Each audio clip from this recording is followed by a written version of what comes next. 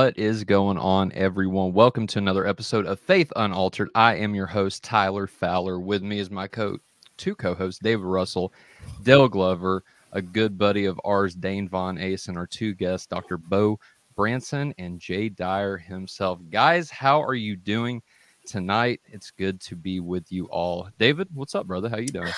Another week, brother, in the books. Doing all right, man. How are you?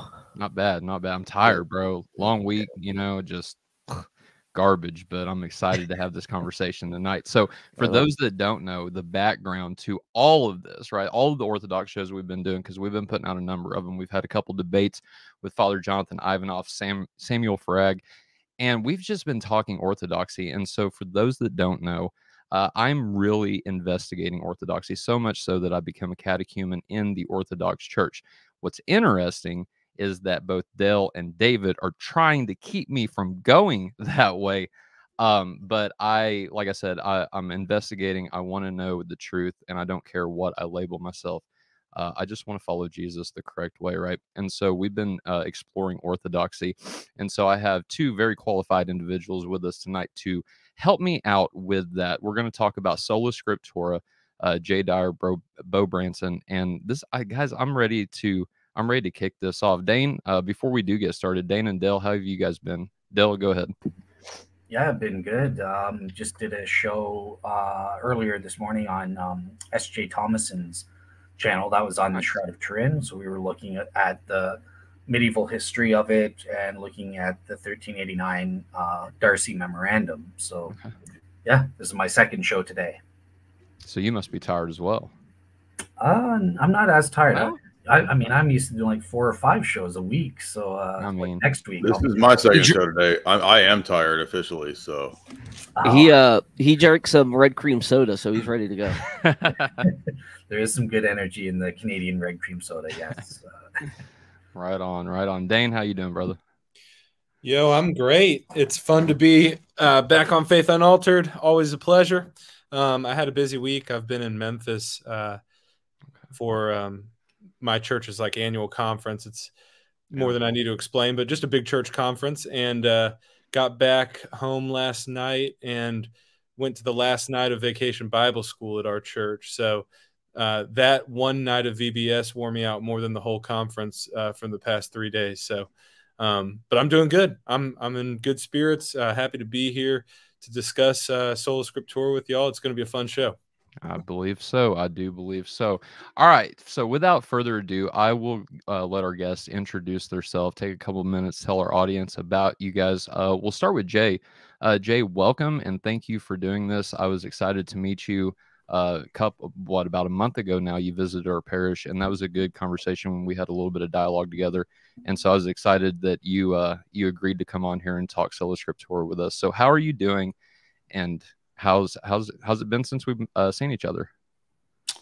Great. Yeah, it was really cool. I didn't realize, like I said, you guys are so close. I would have come to to meet Dr. Branson much sooner if I'd known that he was that close. I I assumed, you know, when you hear other states, you think four, five, six hours away, but you guys are only two hours away. So uh, yeah, we had a great weekend up there with you guys, and uh, got to meet everybody. And yeah, it was it was cool to chat. And I know, I remember you were asking about you know Sola Scriptura and mm-hmm. other issues like tradition and church fathers. And um, so, yeah, I'm happy to to discuss that. I've had quite a few exchanges over the years with uh, various Protestant pastors and apologists, and I myself uh, did the Protestant Bible College for a while. So, so yeah, I feel like I can, um, you know, hopefully have a good perspective on both sides of it to contribute to the conversation. And what I do is uh, do a lot of debates, do a lot of movie analysis, do a lot of geopolitics, uh, hosts the fourth hour of He Who Cannot Be Named every Friday. Um, what else do we do? We do live events now, so we do we do comedy and philosophy talks and all kinds of stuff. So you can find me uh, on YouTube or on Rokfin or uh, any of the other social media outlets. Right on. And I do have your channel uh, in the uh, description of this video. So if anybody wants that, they can just go down there and click it and it'll uh, lead you right to it. Uh, Dr. Beau Branson, how are you doing, my friend? Now, we met from uh, the Orthodox Church uh, that you attend and that I attend now. And mm-hmm. so, how are you doing, brother? And how's it been since the last time I seen you? I'm doing all right. Um, I don't have a whole a whole ton of news like everybody else. I've just been writing this whole summer, so right on. Boring life. Do you want to plug your book that you're writing?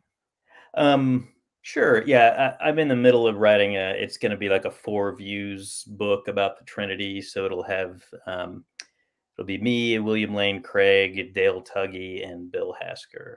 Um, so I'm I'm in the middle of uh, finishing up my my criticisms of William Lane Craig as we speak. So right on.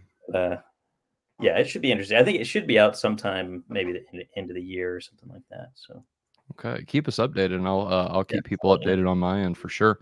So I'm excited to hear about that. But all right, guys, let's jump into it, shall we? I'm like I said, I'm I'm excited because here's the thing. So I don't what I don't want to accomplish in this discussion, I don't want to merely destroy Sola Scriptura or anything like that. If proven false, what I want to do is be able to present our listeners with a more robust, a stronger alternative to Sola Scriptura. And so to start out, I think, um, and you guys, uh, we'll we'll start with Jay if you want. Uh, can you present us a positive case for the infallibility and authority for both Scripture and the Orthodox tradition? Yeah, I can. Um, well, I mean, I can give you what I, how I would argue that. Um, yeah. But I did have one question before we started. Uh, not, yeah, I'm not ahead. trying to be rude or or anything. I'm just curious what what type of Protestant tradition do you guys come from? Would you say classical Protestant, Reformed, or like evangelical Lutheran? What what what Protestant tradition are we talking about? So I came from a Protestant, uh, so Southern Baptist, uh, Reformed, uh, so Reformed Southern Baptist tradition. And our other two Protestant buddies here are they? Similar? I'm I'm evangelical. I, I, guess like you know William Lane Craig, Mike Licona, those type. Okay. Yeah. I would say the same as Dale. Okay. Yeah, I'm just curious. I'm a because... theological mutt, as they say. yeah, I mean, as Josh says. You know, because that just because that can kind of there can be a kind of a range of uh, levels to which you know people in the Protestant world may or may not give credence to tradition. So it just kind of depends on you know what how far back I guess in history we're talking about. But so the question is, what uh, relatively quick argument I guess would I give for the infallibility of scriptures and and what the Orthodox Church being the also infallible church? Is that what the question was? Just the just the authority of the Orthodox tradition versus like a Roman Catholic tradition or something like that. okay, so I would say that that would be twofold. Uh, first argument I would make is that from Scripture itself, uh, there's a continuity of revelation that comes from the Old Testament time when we didn't have what we could say is a fixed canon per se, even though in the Old Testament period we did have divine revelation that was conveyed through both an oral and a written uh, means eventually as you know Moses, Joshua, and the prophets write their text down. Prior to that, however, it's not written down, it's it's oral. So I think one thing that we could derive from that that we would all I think agree on if we unless we're higher textual liberals or something, is that the the ability to, to, to transmit the information uh, orally is is something that God can providentially do, right? So there's nothing that prevents God's providence from uh, maintaining and preserving the the tradition that's passed on from Adam to to Abraham. that's that's uh, that's not written down, right? So he can still do that. Hmm. So when the text, be, the revelation begins to be written down, we might assume that, therefore, we would toss away the oral testimony. Um, but one thing that's interesting in, in, all the research that I've read, and aside from maybe Torah only Jews that would argue, or the Karaites or something, most Judy, Judaism historians and, and rabbi rabbinical uh, history would agree that there was not a sola scriptura principle going on in the Old Testament period or the period of the, the Moses and the prophets. So, for example, we read in Isaiah speaks of the the to the law and to the testimony, right? Mm-hmm. The law being, of course, the first five books primarily, testimony being the prophets, and perhaps even the interpretive structure that the prophets themselves might give to the law of Moses and to sub a prior revelation. So, uh, you know, when we have small texts like Zephaniah or something like this, or uh, other uh, Old Testament minor prophets that are called uh, preachers, right? In other words, they were exit, they weren't just having one sentence of divine revelation or, or excuse me, one paragraph of a, uh, uh, chapter of divine revelation. They may, but they might have also been preachers. And so this is a preaching is a prophetic office, and that doesn't always necessarily refer to predicting the future. And I know a lot of you guys probably already know that, but there's a reason I'm saying that, which is that they would be exegeting and expounding the law. And then as subsequent revelation came, it would be also exegeted and expounded. But again, at no point in any of that time frame in the Old Testament is that divine revelation restricted to only following the written text.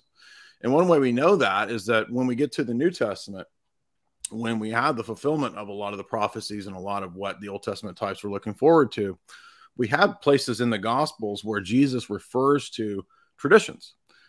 Now, I understand that as a Protestant, you might say, well, but uh, Jesus is God, so he can refer to whatever traditions he wants to, and they therefore become infallible, you know, because he sort of references them or looks back to them. And but I would argue that we don't just see that ending with Christ. We see this as a continuing principle even after the death of the last apostle. This is why, for example, we have the you know the phrase that uh, out of uh, out of Egypt, uh, my son came out of Egypt, right? Which right. is which is not a specific reference of anything in the Old Testament. It's interpreted to be either allegorical or for some or, or from uh, Hosea or one of the other passages, or it's interpreted to be uh, a reference to a, an extra canonical text. We have many references to extra canonical texts as well. Again, also from the Old Testament. So you have, for example, references to the books of the wars of the Lord. You have the references in the New Testament to the book of Enoch. And so for us, that suggests that divine revelation is not necessarily limited to only the written texts, right? So you might say, well, but the it's still sola scriptura because really only that text that's referenced in the book of Jude from Enoch is the only infallible aspect. Everything else is is uh, doubtable or doubtful, excuse me. Um, and I would say that if we restricted ourselves to a few examples, that might be the case. However, the the best argumentation I think is when we get to the way that the prophets, or excuse me, the way the apostles preached we find in Paul's epistles and in Peter's uh, epistles the statement that they preach the word of God. Hmm. And preaching the word of God during this apostolic period is not restricted to simply citing the text, right? It would be all of the, the oral teaching of the apostles. So, for example, when Paul says that he commissioned Timothy, and I would argue that from the two letters to Timothy, he's he's making Timothy the bishop of Ephesus. He says, "I laid hands on you, Timothy, Timothy, you then lay hands on men after you who are able to transmit this body of doctrine that's being handed to you. And he talks about all the things that you heard in the presence of many witnesses. If we go to the book of Acts, we know that Paul taught in Ephesus for three years, day and night. So Paul was, uh, you know, expositing and teaching far more orally than what he wrote, you see. And so that whole body of apostolic Pauline interpretation is what he's committed to Timothy to hand down. And you'll notice, by the way, that this is intimately tied to the succession of the bishopric. So the, the laying on of the hands. And he even goes so far as to say that I appointed you, Timothy, in Ephesus. No one else is appointed in Ephesus according to Paul's succession there. Mm-hmm. So that means that in the city of Ephesus, that at that apostolic time, there's literally only one correct believing church in Ephesus. That's the one that's quote orthodox, right? The correct believing one. Mm-hmm. Likewise, the apostles then went out and did the same thing. And we know, uh, I think, because we have the presupposition of divine inspiration and, and divine providence, we know that they weren't teaching different things, right? So Paul wasn't teaching something different theologically, ultimately, than maybe what was being taught somewhere else. If there was a disagreement, we know that Acts 15, we have the Jerusalem Council, and the decision of uh, you know coming together and deciding okay let's not require of the gentiles more than was expected of them in the noahic covenant right for mm-hmm. admission into the church if god if noah can be righteous before god prior to abraham and the giving of circumcision then circumcision can't be absolutely necessary for righteousness before god. Therefore they come to this decision on the basis of again not just citing the text of scripture they do cite the text of scripture but there's references is what i'm saying even in the book of acts to non-canonical things to extra biblical things principal traditions for example is more blessed to give than to receive acts says jesus taught of course we mm-hmm. don't have any written record of jesus teaching that a couple more examples you know jesus says in matthew 23 that the scribes and the pharisees sit in the seat of moses that's the cathedra in the greek and that's the idea of a cathedral the bishop sitting in the seat of the cathedral, right? Mm-hmm. So Moses, so when Ezra set up what we know of as the rabbinical system or the synagogue system, this was so that Israel could have teachers that weren't just located in uh, Jerusalem, right? So you could have a, a, teaching of the law throughout the land of Israel. This is where we get a la Ezra, the synagogue system. So Jesus is essentially saying that it is the tradition in the church, or excuse me, in, in, in the first century uh, worship at temple synagogue worship service, the presupposition is the scribes and the Pharisees sit in the seat of Moses, therefore do as they say, but not do as they do. Hmm. There's no text anywhere in the Old Testament that explains this authoritative succession of a seat of Moses. Therefore, it is a tradition that Jesus is recognizing and accepting. And we can think of many, many other examples. And I'm going to try to finish this up soon. I know it's, it's you're good. Little, well, I mean, no. you ask a tough question. It's like, can you prove your whole system in like one? right. so, um, so, uh, you know, we have we have uh, other textual uh, references. One I wanted to mention too that just came to mind. Uh, in the book of uh, Chronicles, we have the reference that uh, Hezekiah organized the worship. I think this is where I'm going from memory. Hezekiah organized the liturgical worship as laid down by his father David and it talks about not just the liturgical worship in the sense of having an altar and having you know the levitical ceremonies. It's the actual service the liturgical worship service and it's ordering with the music and the cymbals and all this kind of stuff. So this is based on tradition. Now we know that god's very concerned with how we worship him because in the story uh, what is it leviticus 10 or 11 nadab and abihu who offer strange fire uh, and god doesn't accept that. So you know many protestants if you're a classical reform protestant you'll talk about the regulative principle of worship that we can't worship God in any way or in any pattern other than what he's given us. And believe it or not, as Orthodox, I think we would argue, yeah, you're correct. However, when we come to the New Testament, we don't actually have the specific pattern of how the service is supposed to be conducted. Mm-hmm. I understand that, yes, Paul in Corinthians limits us about certain abuses, and he says, don't uh, celebrate the cup, uh, getting drunk and fornicating, and don't do this but there's not actually an explicit order of the service, just like there was no explicit written pattern of how the worship service was to be conducted. And yet we're told in Chronicles that Hezekiah ordered the service according to the pattern of his father David. I think David was two, 250, 100 years, you know, before Hezekiah. So there was this tradition as to how the liturgical worship of Israel was to be done. Now, coming to my final um, points here, I would argue that in terms of sola scriptura, when we get into the post apostolic period, we find the church fathers, especially in the first three centuries, many of them absolutely citing texts, many of them citing many texts. And because of that textual witness, we can reconstruct fairly accurate, fairly consistent gospel. Um, there's an attestation, is what I'm trying to say, uh, from these first three century church fathers. For example, in Irenaeus's against heresies from about 180 there's a, a ton of texts that are cited right? So you could you could compile kind of what Irenaeus knew of as the Bible pretty well. But what we don't we still don't get uh, for these three centuries uh, is any clear pattern or idea of what the absolute canon of scripture is. Now we get Marcion who's one of the first to set up his own canon. So actually the first idea of a specific canon comes from a heretic and it still, ironically, doesn't prompt the church at this point to actually lay out a definitive canon of scripture.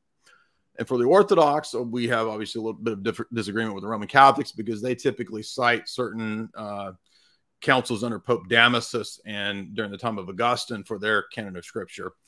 Uh, we, because we don't defer to just papal fiat and authority, we're not immediately going to accept that. However, it is an attestation to the fact that in the West, it, in the days of Augustine, it was pretty clearly understood that the deuterocanonical texts were absolutely part of the canon of Scripture.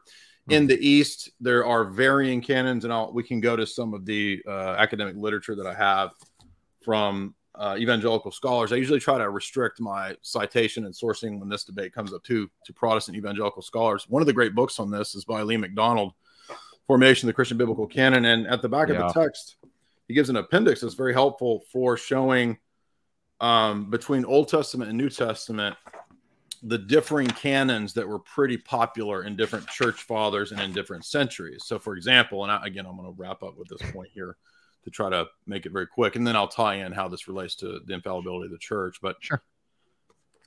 For example, uh, when we look at some of the earliest lists of the canon of Scripture, for example, the Old Testament, we have in the fourth and fifth century, we have the predominant canons of Melito, Sardis, Origen, Athanasius, and Cyril of Jerusalem, as well as Epiphanius uh, and Gregory Nazianzus. Okay, so there's there's commonalities amongst these lists and the differing sort of competing canons that were being used. However, there's also quite a bit of, of difference here. For example, Melito's canon does not include the deuterocanonical texts.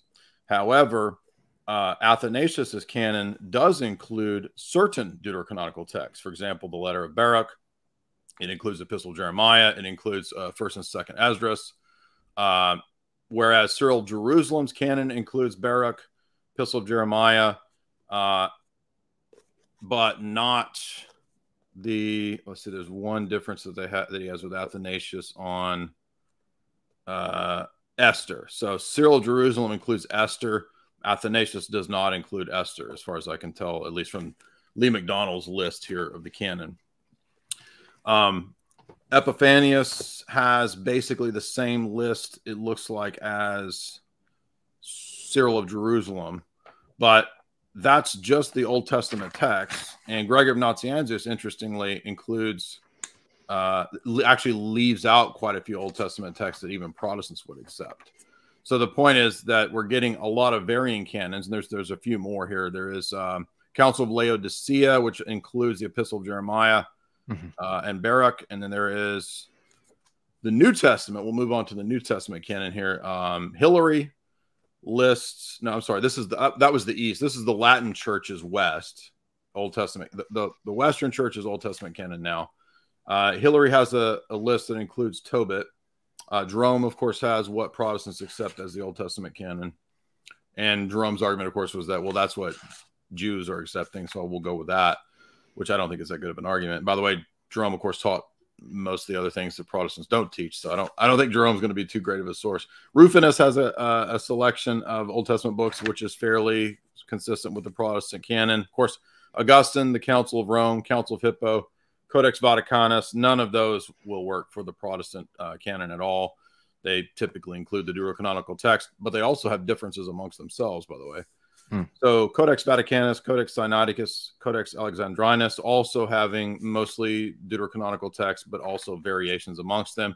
Then moving into uh, other church fathers, Eusebius um, disputes uh, the Catholic epistles, interestingly. Clement um, includes texts that we wouldn't include. Uh, we wouldn't include the Shepherd of Hermas, the Acts of Paul, or the Revelation of Peter. Cyril of Jerusalem uh, in his New Testament canon has what we would typically would include, but he also does not believe that the book of Revelation was canonical. And this is going to be important because one of the interest, one of the crucial points that we want to stress for Orthodox when it comes to canonicity was that a lot of the church did not accept the book of Revelation as can- canonical. And it was actually Athanasius. If you read F.F. F. Bruce's book, Canon of Scripture, who's one of the most famous Protestant evangelical scholars. He's got some great chapters on uh, Athanasius convincing Rome that no, actually, we should include uh, the Catholic epistles and the book of Revelation. So to me, that suggests that no, we can't really divorce. I mean, it's easy for us nowadays to look back and say, well, we have this, you know, this basic 66 books of the King James Bible, the Protestant canon. Why can't we just go with that? It's pretty obvious, isn't it? again, put your mind in the in the attitude of a person in the fourth, fifth, sixth century when you go to your local church mm-hmm. and there's not a specific necessarily Bible there, right? There's not a 66 books of the Bible. Here's the key point. What is there there? You're going to have lectionaries, daily readings that are being done in the churches. And when I got into a lot of these Protestant scholars talking about how the, the canon came to be, I didn't even realize as a Protestant guy, Reform guy, that liturgy was a huge piece of the puzzle for how the canon came to be. Mm-hmm. So I'm not saying it was the only puzzle piece, but it's a big piece because when canonicity is being discussed, and, and for us as Orthodox, it eventually comes about by the time of Trullo in the Sixth Council. Uh, you know, I mean, we, we would find attestation to the earlier uh, Pope Damasus and, and uh, Augustine canon. But it doesn't necessarily for us equate to uh, ecumenical status until it's really covered by the ecumenical council and then it's received by the rest of the church. So the irony here is that for the orthodox the canon is really late and even then it's still kind of flexible because uh, john damascus when he lists his canon it's the same as the Orthodox canon, but he also lists an extra. I think he's. I think he says Clement. He thinks Clement is canonical as well, which is interesting because I, am not sure why he thought that. There's probably scholars that could tell you why he thought that. but, he has the apostolic canons or something. Is that what it is? Uh, yeah, he does. You're right. He has the canons, and I, I think he has Clement in there too. But um, that might be because he's going from an earlier, you know, ruling from, you know, a, a synod, or he might have just been pulling from. Was it Cyril Jerusalem? Anyway, point being is that uh, for us it's pretty late, and you know, liturgy played a key role in that. So when the church fathers said, "Okay, what books are canonical?" Well, let's look at what books were used and read in certain important ancient apostolic sees. Let's look to the ancient liturgies, the liturgy of St. Mark, uh, liturgy of St. Basil. Uh, let's look to the daily readings and the lectionaries that are read in the churches. Let's look to the tradition of the church and the various sees in terms of what their their tradition was about apostolicity. Mm-hmm. Uh, because, for example, Matthew doesn't list who the author is. So the, the only way that we would know that Matthew was written by the apostle Matthew is that the church's tradition says this is Matthew the apostle's gospel, right? right. And so ferreting that out from um, pseudepigrapha, which are not necessarily heterodox. I mean, there's pseudepigrapha that might contain true tradition.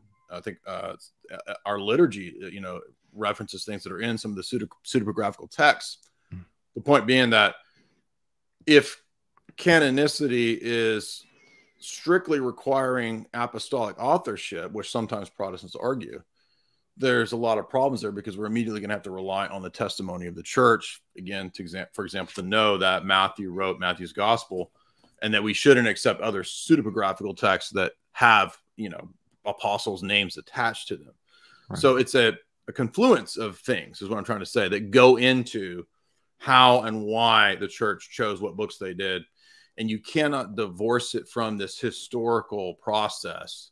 Uh, therefore, if I do believe the text and I do believe the guidance of the church within history, just like I believe God's providence can guide Abraham to faithfully know the, tra- the, the, tradition passed down from Adam. Mm-hmm. I can believe that God's providence can continue to preserve in the church, which is something more than what was existing in the Old Testament, which is the body right? The, so Jesus says in the Gospels, as you know, that he will send the Holy Spirit in the Gospel of John and that the Spirit will guide you and lead you into all truth. And mm-hmm. for us, he's speaking to the collective body of the church there. Right. And that promise didn't leave when the last apostle died. It's not like when John died, okay, well, the Holy Spirit's gone. So good luck. You know, hopefully you can figure it out. Uh, here's a roadmap of DIY, and hopefully you don't come up with a liturgy or, or church worship service that God hates. No, there's a pattern of worship that Moses, that, that excuse me, the Adam pat that, that Adam. I'm getting. Uh, I had too much coffee today because I was having to do all these podcasts. But there's a pattern of worship the apostles laid down in the sees that they went and and evangelized and set up. And immediately after the apostles, that's precisely what we see when we read Ignatius, when we read Clement, when we read Ambrose, when we read Cyprian, when we read Irenaeus, they uh, Justin Martyr, they have this liturgical pattern of worship yeah. And even in Justin Martyr or in Irenaeus, we have them discussing the liturgy and its its celebration, but we still don't even have like a full on worship service. But we can go to ancient texts like the liturgy of Saint Mark at Alexandria, and I think it dates from I don't know 200 or something like that. We can see um, other uh, liturgical celebrations from around that same time. For example, the Easter controversy. So we know the church was celebrating Pascha and Easter early on because they were having these big debates with Pope uh, Pope Victor over it, right? Mm-hmm. and the Quartodeciminarian controversy. So we mm-hmm. know that liturgical worship is the norm, absolutely, during these time periods. Even if we don't have Irenaeus Justin giving us a full service, we do have those services, is my point. And those services play a key role centuries later in the determination of the canon. Therefore, we must have some historical body that is the preserver and the expositor the guardian of this tradition. And I would argue that the first thousand years of Christianity, when we go to those councils, when we go to those synods, that synodal structure that we have in, in Acts 15, the mm-hmm. church operates precisely in that way, both in local synods, even though we see those, you know, Council of Gangra, Elvira. We, we have ecumenical synods, which we see with, you know, Nicaea and the subsequent ecumenical councils. Mm-hmm. And the canons of those councils, I would say, are one of the strongest arguments against the the papal perspective. So the so you asked me specifically too about Roman Catholicism and why Orthodox and not Roman Catholic. Well, I would say that the easiest way to demonstrate that without going into papal documents and, and papal dogma and Roman Catholic dogma would be to say, well, we know kind of the claims of Rome about what it sees itself as as the true church. Mm-hmm. but is that the way the church operated in the first millennium? And if the church of the first millennium operated in an orthodox synodal way and i think that it's demonstrable that they did and if there are canons in every one of the ecumenical councils the first seven at least that actually directly contradict and conflict with the vatican one claim and interpretation to me that's the strongest proof possible that the church of the first millennium was not the papal monarchical system, but rather a synodal system of first amongst equals. And by the way, the Alexandria document that just came out that we just did a live stream on, uh, pretty much it basically concedes about 90 to 95% of the Orthodox points, I should add, which is a wow. Roman Catholic, uh, uh, uh Francis approved uh, commission. Yeah. Yeah. So I would say those things are the reasons why uh, I think that the source scripture is not true and the formation of the canon basically requires some notion of the infallibility of the church within history. Right on, right on. Well, y'all, we can just pack up and go home. Jay just killed it, and so we're done here. I mean, there's yeah. nothing else left to say. No, it's fine. Uh, but no, I there, Jay, there's so many things that you said there. I want to hit on first and foremost. Thank you, uh, because I actually got uh, Lee Mc, uh, Lee Mark McDonald's book because you recommended it. I also got FF Bruce uh, so if those who are interested, if you don't have any money, uh, that's actually fine because if you sign up for a free trial on Scribd, they've got the audio book of FF of FF Bruce, uh, the canon of Scripture, on there for free, and you just cancel the uh, free trial whenever you're done with it. Uh, but but great books and things that you know things were mentioned in those books that really led me deeper. So I ended up getting this book, the Biblical Canon, um, from uh, Lee Martin McDonald, and I also got his uh, newer version out, the formation of the Old and New Testament canon on Logos. And so I'm diving into those now. Uh, big, thick books, haven't finished them yet, uh, but I'm really interested in seeing which way uh, Lee McDonald is going to go there.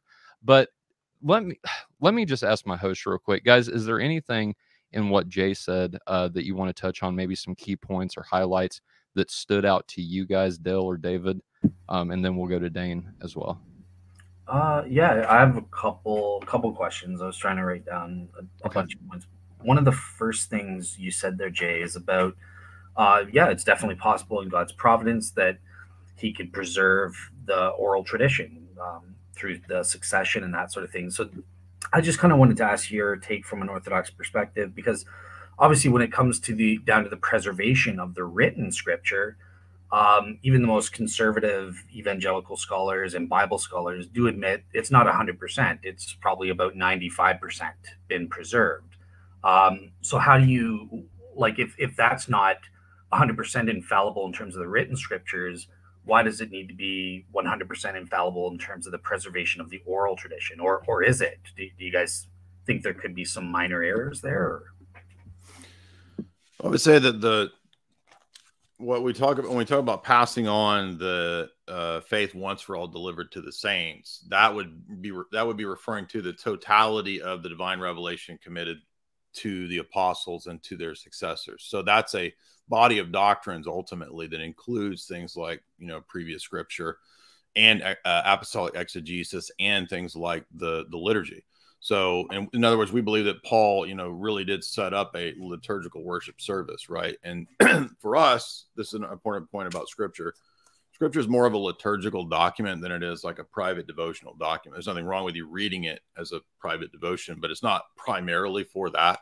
It's primarily for an ordered worship service, and that's why the Jews actually operated the same way, right? They had a structure of how you would read certain certain texts and certain books in certain orders and then it kind of concludes with um, nowadays, at least, the synagogue system, which does have a, a, basis in a lot of the older temple and synagogue services from the patristic and and uh, time of Christ era. Like there's a structure to that, and so for us, we simply adopted that same structure and pattern because we would say that Paul set up this kind of worship out of the existing temple and synagogue systems. That's why there's a great book on this that uh, my buddy Lewis, he did a whole documentary that you could look up on Orthodox Shahada. And the book is Orthodox Worship, Living Continuity with the Synagogue, the Temple, and the Early Church. And it kind of makes this point. So, the way it relates to what you were asking about the inerrancy of certain texts. So, the question of inerrancy, I think, is a different question from whether or not there was a historical place for the church to determine the canon. Um, I don't know of anybody that, except for maybe like a King James onlyist, that thinks that literally every like you know uh, jot and tittle is necessarily quote infallible or inerrant in that sense because we have to go from uh, copyist manuscripts which do have like you know minor discrepancies amongst them. So but but copyist errors is different from whether the body of doctrines handed down has been faithfully preserved and and, and whether or not the texts themselves for the most part exhibit continuity and inspiration which i would say they do i think they're god breathed right uh, but that isn't, but we don't have autographa. So we don't have the actual text that Paul wrote or Matthew wrote. This is again another thing that points to the uh, necessity of the church in this. If I if I can't go in a time machine and see what Matthew was writing, and I don't even have copies of Matthew, I think like you know there's like a fragment of John from the year 90 or 100, right? Most of the other uh, fragments and gospel collections are second, third, fourth, fifth, sixth, seventh centuries. So again, I'm having the point you're making. I would concede it, and I would say all the more reason why we have to kind of distrust the testimony of the church and God's providence to preserve the text because we don't have the autographa, meaning the ones written by Paul or Matthew. Gotcha. All right, cool. And just one last question before I turn it to David to, to save time. But um, one thing, so I, I was interested, you mentioned some uh, models in the New Testament times that you think kind of support uh, sort of um, what one biblical scholar calls a formal controlled process type thing, right?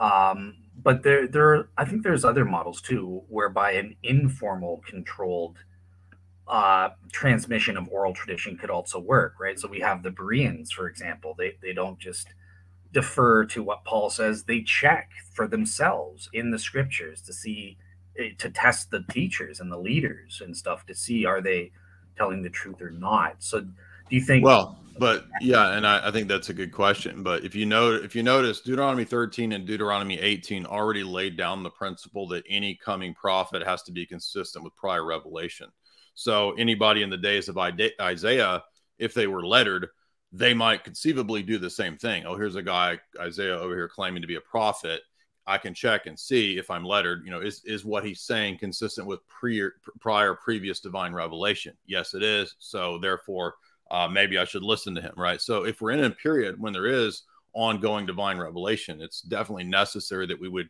cross reference and check what's being said with prior revelation. But and I would I'm assuming if you're Protestant, you believe that there's some kind of cessation at some point with the death of the apostles uh, for public divine revelation, unless you're you're charismatic. I don't know, but um, no, I, I, what, what I'm saying is that cross referencing and checking revela- divine revelation that's new doesn't really in any way affect whether such sola scriptura is true or whether there's oral tradition or not. Okay, uh, just one quick follow up, if, if you don't mind. I know I said that was my last. Yeah, I don't care.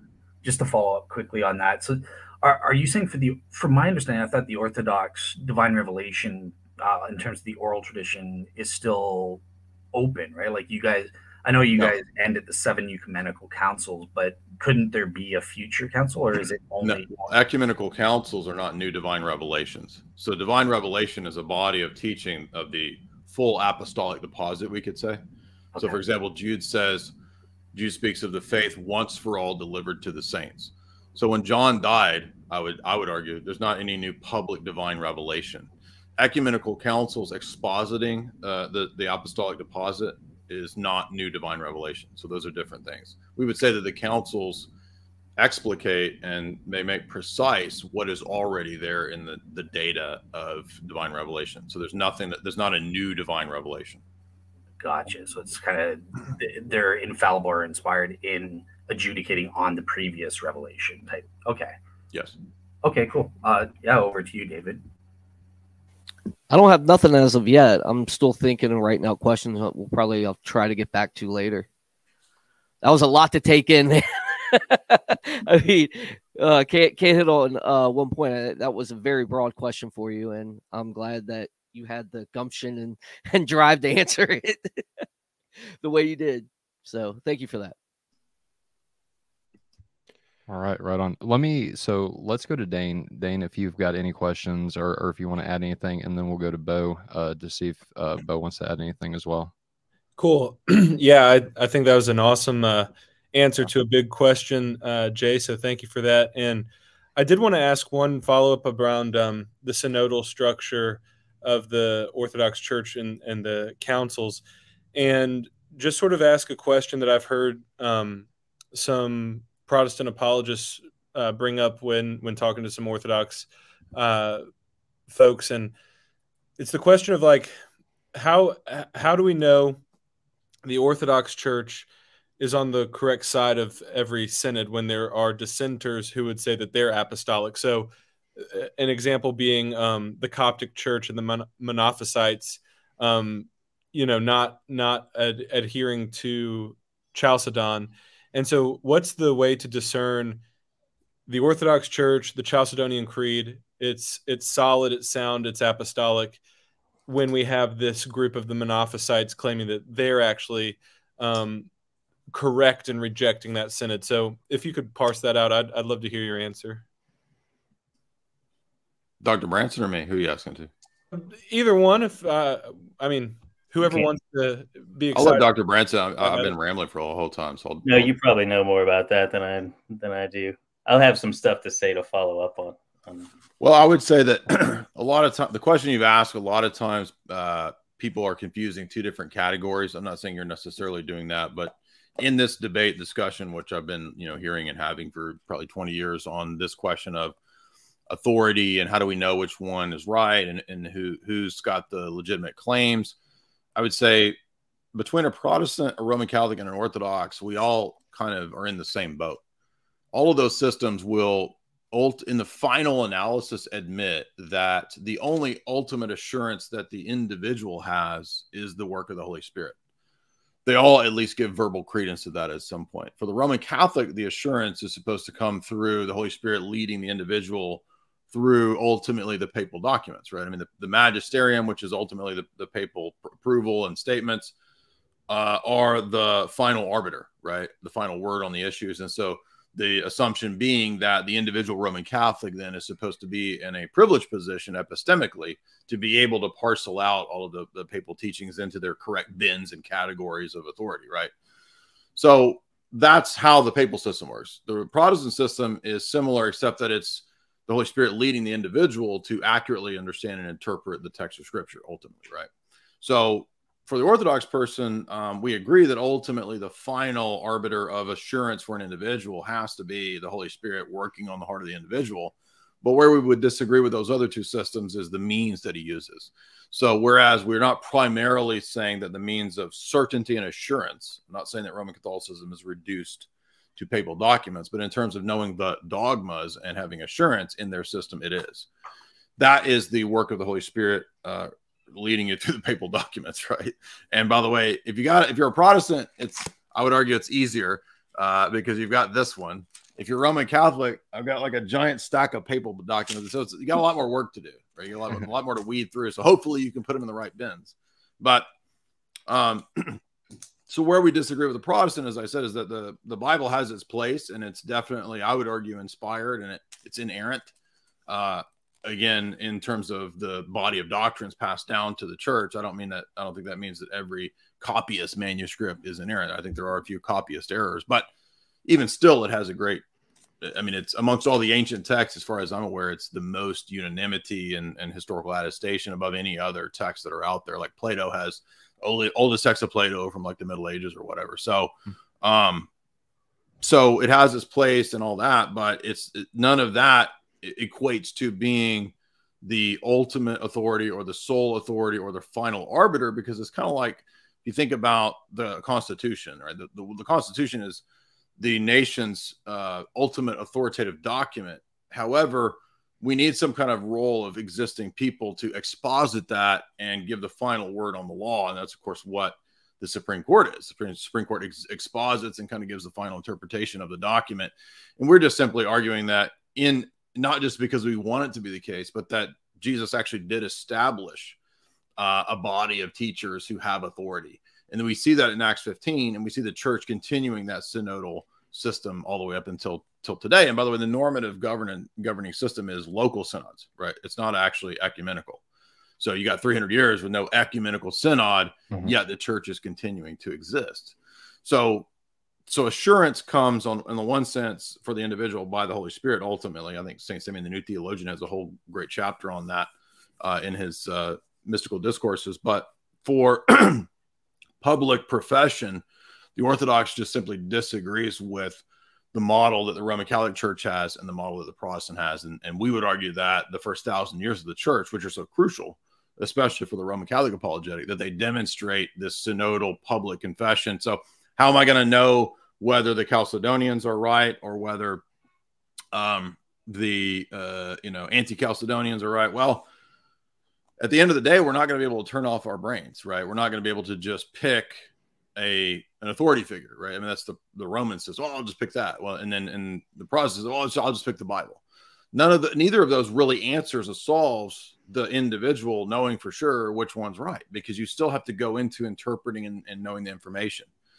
So, but beyond that, there are other things in the councils, for example, uh, and so Chalcedon, for example, the question would be, is Chalcedon consistent with Ephesus? And so every one of the ecumenical councils begins with, after Nicaea, obviously, begins with the notion that we are continuing the tradition of what we said before. And this kind of builds all the way up, you know, through the seven slash eight councils up until the Palamite synods for the Orthodox, that we're being consistent with the canons and the revelation that came before. So it's true that there are false, false councils, Robber out of Ephesus and all that for us, but there's really no way to adjudicate this problem without going into the actual specifics of the argumentation. There's no a priori way to know, oh, uh, I, I, I, this is the right council because the, of the Pope, right? Because the, the, Roman Catholic system itself actually doesn't give you a consistent, coherent list of the councils. For example, Lateran mm. 649 should be a Roman Catholic ecumenical council based on their system, but it's not. It never has been. Uh, and the reason it wasn't at that time, if I recall, is because the emperor didn't sign on to it. Well, if it was the papal system at that time, who cares whether the emperor signed? Doesn't it shouldn't matter. But uh, anyway, long, long, story short is that yeah, the, the, there's certain structures and things within the councils themselves about universal acceptance and this kind of stuff, and has to eventually be received by the whole church. And so it's not just this total top-down model. Um, but it's also not a total bottom up model where it's like, well, it's all the word of the people, or you know, that that would be more of a Protestant model, right? Because of the Protestant doctrines of uh, freedom of conscience and that you can't bind me to your interpretation, these kinds of things, right? So it's it's I would just argue that history demonstrates that it's neither Protestant nor the, the Roman Catholic model, and the specifics of the Oriental question are a little more hairy. But if you go into the actual theological issues, I think we can show who's right and who's wrong. Mm-hmm. Cool. Thanks, man.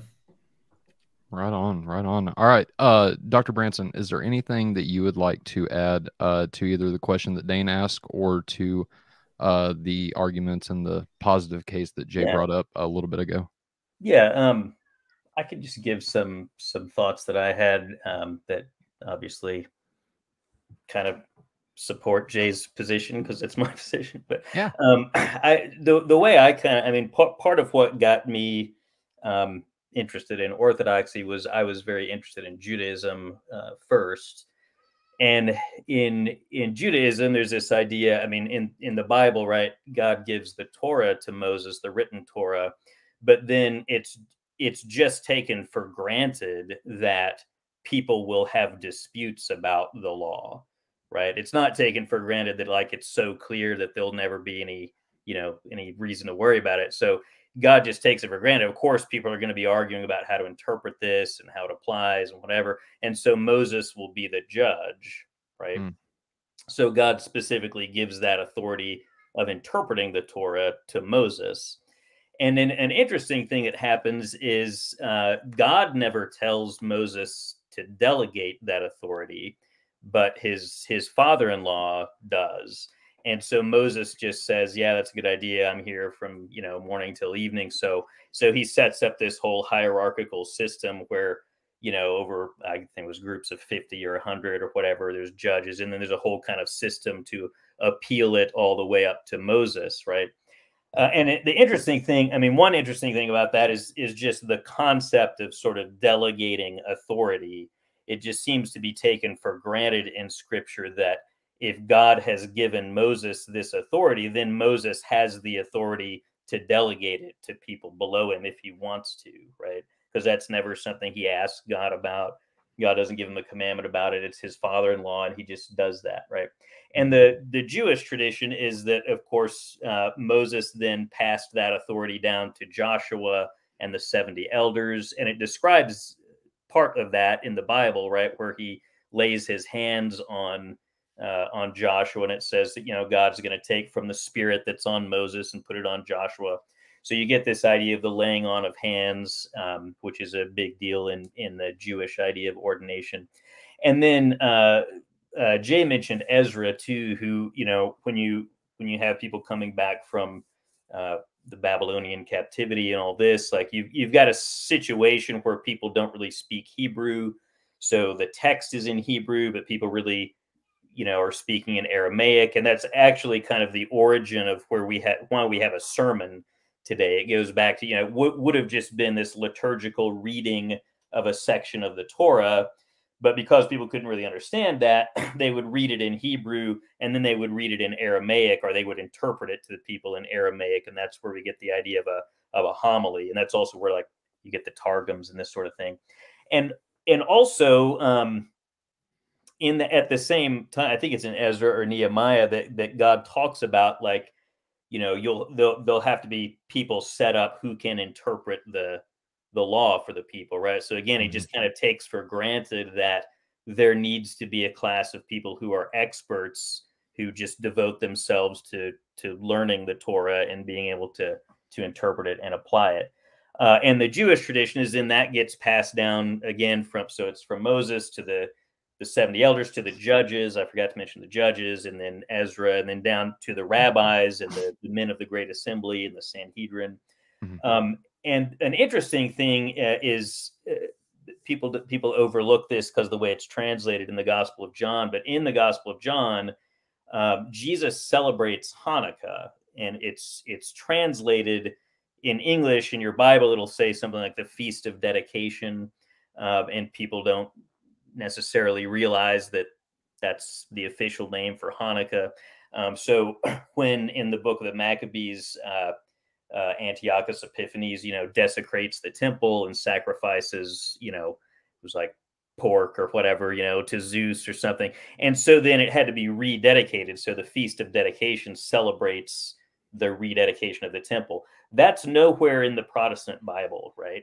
so so it's it's not in protestant scripture. It's not and the the feast isn't even really mentioned in the book of the maccabees. The maccabees talks about the events but it's just something that the rabbis created uh, the feast of hanukkah uh, and jesus is there celebrating it right? And so he and and he tells the disciples at one point you know whatever the pharisees say you should do what they say because they sit in the seat of moses but he says don't do as they do because he thought they were hypocrites, right?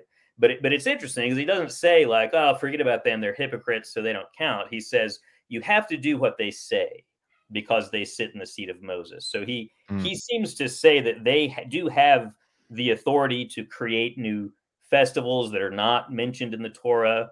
Um, he seems to think they have authority that the, the disciples have to follow it and, and so forth. Uh, and then there's a the passage about binding and loosing that I always um, uh, get amused when I hear certain interpretations of it. Um, when people talk about like binding and loosing demons, like as though you would want to loose demons. Um, Fair but, enough. Um, but uh, but if you, um, uh, I got interested in that because of the it, it's mentioned by David Stern in the the Messianic Jewish Manifesto and in his uh, Jewish New Testament commentary. But if you just look up binding and loosing on the Jewish Encyclopedia, um, those are technical terms uh, in rabbinic Judaism that you see all over the Talmud, right? Uh, and it's it's essentially um, so the term for an interpretation, the the Jewish sort of technical term about an interpretation of the Torah is halacha, right? So from the word halak meaning to to walk so it's mm-hmm. the way in which you should go so it says you know moses will tell you the way in which you should go. In other words, if you, you know, or have a dispute about how to interpret the Torah. Hmm.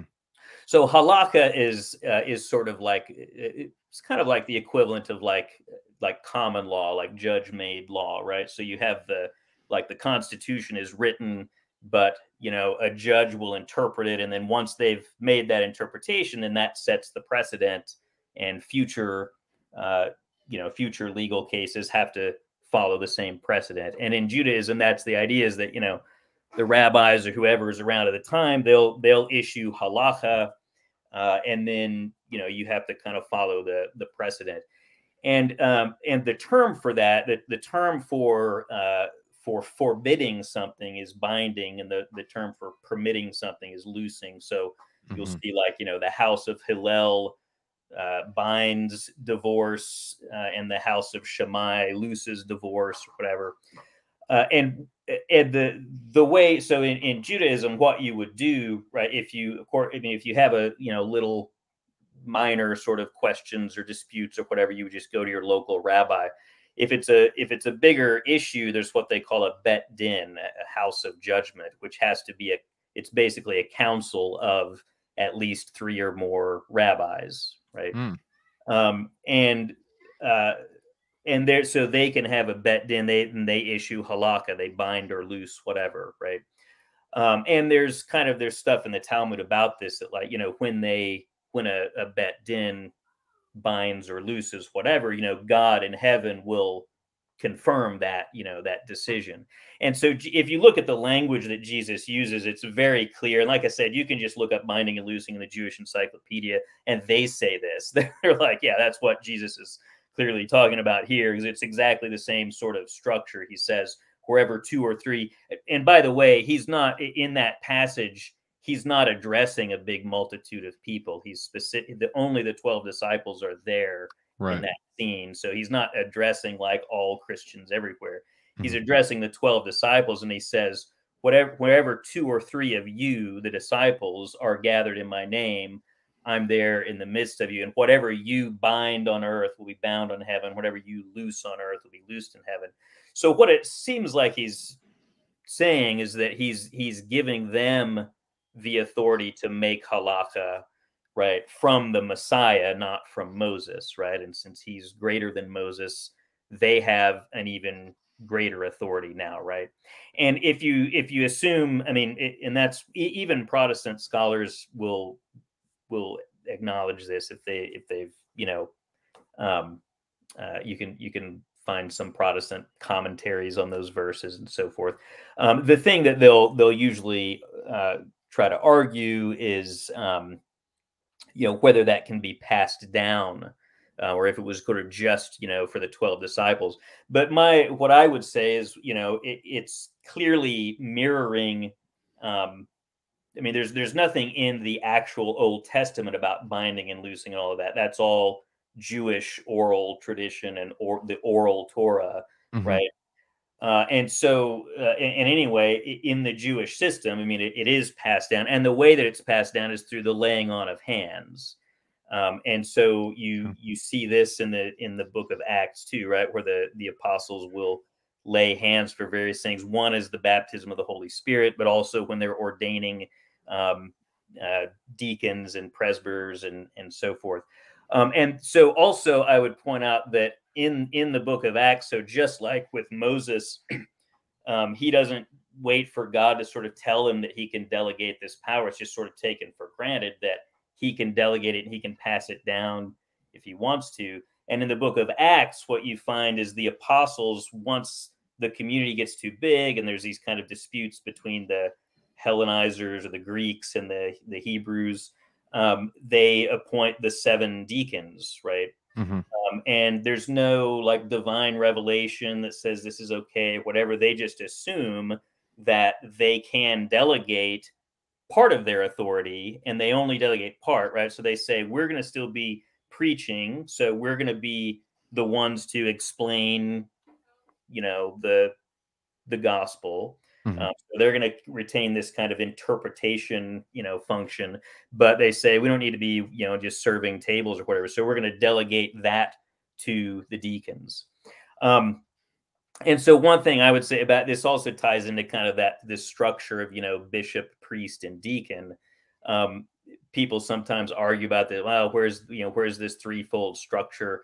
And I think you can argue that it actually is there in the New Testament. But even if it wasn't, I would just say it's just part of the same idea that you can delegate your authority and you can delegate part of your authority. So in the same way that they just delegated sort of certain functions to the deacons, if they want to, they can delegate certain functions to priests, but reserve certain functions for themselves. And that's really what you have in in the Orthodox Church, right? As priests can kind of do everything except ordain mm-hmm.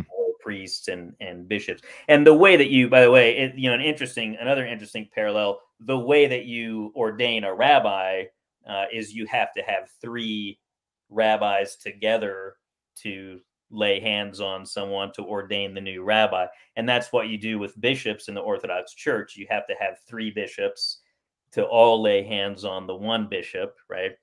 Um, and so it's the same sort of structure and the same uh, issue too with like if you have sort of minor issues, you would go to your priest or your bishop.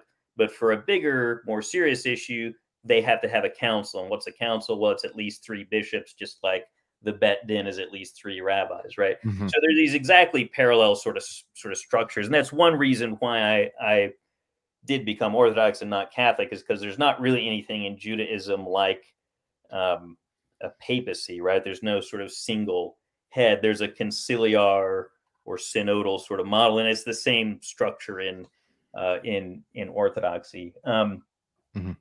And that, I guess that's basically what I would say. That you know, so it, it's you know, in Judaism, you don't have at least in in Orthodox Judaism, um, you don't have um, you don't have a papacy, right? But you also don't have just kind of a free for all where just anyone can interpret the the Torah and, and issue halacha themselves. Right. And also you don't I mean, you know, Jews wouldn't say that uh that they're infallible necessarily. It's just sort of kind of like once precedent has been set, that's the precedent that's that's been set, right? That's that's mm-hmm. how we do things now. Um and uh and, you know, I mean it's a similar sort of issue like with the Supreme Court. It's like um you know, the Supreme Court could overturn the Supreme Court, but a lower court can't. Even if a lower court, you know, if you're a judge in a lower court, you might think that the Supreme Court really made a bad decision on some case, but you just say, yeah, but you know, that's the way the authority structure is, right? Mm-hmm. So that's the because um, you do, you know, if you want to have a functioning community, um, it can't just sort of be a free for all, right? Like it couldn't, it wouldn't work to have like the Constitution and a bunch of laws, but like we all just interpret the laws for ourselves, right? Like that, that delves into chaos real quick. Yeah. So you have to have some sort of some sort of system, uh, you know, some some idea of who's and like you know, like I would say frequently, uh, I think the Supreme Court interprets the Constitution incorrectly on number mm-hmm. of, of issues. But like, I don't. I mean, I but I understand like we have to have a system, right? Where I mean, someone has to have the final say, um, even if they even if they get it wrong. Right. Um, anyway, that kind of gets into other issues about infallibility and whatever. If I can, Beau, let me ask you yeah. this because you were talking about Jesus delegating authority to the apostles. Do you think because Jesus does that, that sets the precedent for the apostles to delegate authority in some sense anyway maybe an aspect of it uh, that sets the precedent for the apostles to delegate authority to those whom they choose yeah i mean that's what i'm saying is that's exactly okay. the, i mean that's the system in judaism is that rabbis can ordain new rabbis right, right? Um, and the and the new rabbi has the same you know is is equal in authority to any other rabbi right and it looks like the same thing. Jesus is just saying, you know, just like the the Pharisees sit in the seat of Moses, they have this authority to to issue halacha to make decisions about how to interpret the Torah. So mm-hmm. you have mm-hmm. to follow that. But they get that from Moses, right? It's the spirit right. of Moses has been sent down this chain, and and I, it just looks like what Jesus is doing with you know, even the whole symbolism of taking 12 disciples to represent the 12 tribes and then the 70 apostles, like the 70 elders, mm-hmm. you know. It's like a head nod and affirmation to what Moses did there. Yeah, it's just kind yeah. of like he's starting a new Israel, right? It's mm-hmm. it's but but instead of Moses, it's Jesus, right? Right. Which is obviously a higher higher authority. Amen. Uh, so yeah, that's how I see it. Is it just it, it just seems so obviously supposed to be this parallel thing, and um, and another thing I, I that I mean I guess is a little bit off topic of sola scriptura, but you know you, you don't see in in the Old Testament, right? There's plenty of times when Israel um, it, you know is is doing all kinds of things it shouldn't be doing. I mean, it down to even worshiping false gods, right? Worshiping Mhm. like literally putting idols in the temple and worshiping idols in the temple, right? Yeah. Um, but there's a commandment, you know, if you are a male Jew, uh, you have to go to Jerusalem to the temple three times a year, and you have to make a sacrifice. Uh, and that's never like abrogated. There's never a revelation from a prophet or something that says, "Oh, well, because they're all screwed up and they're doing everything wrong, it doesn't count anymore, and you should just kind of make sacrifices at home, or we should start our own temple or something like that." Right? It's just like that's the temple, so you you have to go there and don't- don't worship the idols while you're there, but but you still, you know, I mean, that's still that's still Israel, and that's still the temple right. um, there's there's no there's no such thing as Protestantism in the Old Testament, right? I mean, the closest thing you get to it would be something like the Samaritans, right, who start their own temple. But um, I mean, even even Jesus in the New Testament is just like, yeah, salvation's from the Jews, not the you know when he's talking to the Samaritan woman, like, yeah, yeah, salvation, that's us. but um, you know, I mean, you, you know, first go to the Samaritans, then to the Gentiles, right? So Sure. first the Jews, then the Samaritans, then the Gentiles. But um, but yeah, it just seems, Beau, seems like Beau, doesn't he also say that there's a time where you won't have to go to this temple or that temple, but you'll worship me in spirit and truth? yeah. That seems very Protestant. Uh, it, it doesn't to me. Uh, uh, here's, That's I guess, fine. here's why. Um, because if you notice, right in the book of Acts, um, and this is after the resurrection, so it's after the crucifixion, after the resurrection, after the ascension, um, even after Pentecost, right? Um, the the disciples were worshiping in the temple, uh, and and you don't do anything in in the temple except offer sacrifices, right?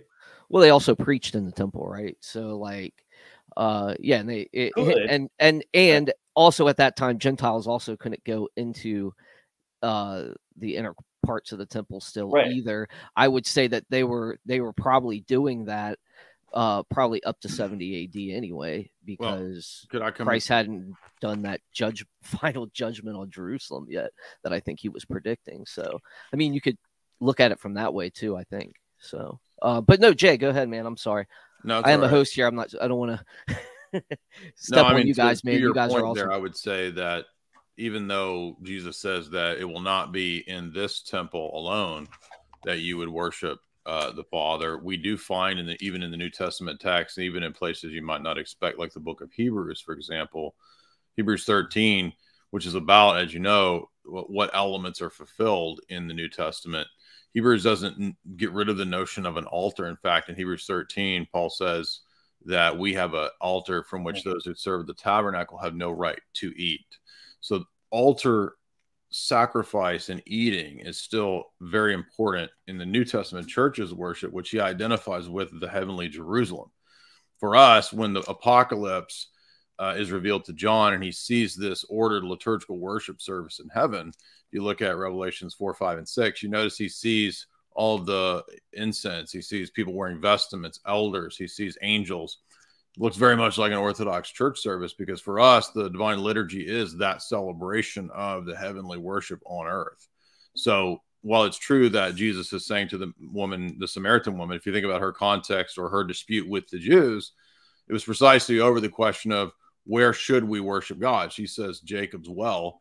Jesus says, no, sorry, it was at the temple. That was the theologically correct position. However, a time is coming when the whole world will worship God in spirit and in truth. That just means in the Holy Spirit, right? It's not saying that there won't be specific places that we gather to that are holy. In fact, the New Testament includes the notions of certain locations actually being holy. Peter says in his epistle that Jesus was transfigured on the holy mountain. We know that in the Gospels, right? We have the the the pool where the angel stirs in the Gospel of John, the pool. So it's a holy a holy site. So altars holy things, which are typically kind of contrary to the Protestant idea of well, that's all fulfilled. That's all Old Testament ceremonies. We don't have holy things anymore. There's many, many instances I would say where we find this carried over in the New Testament.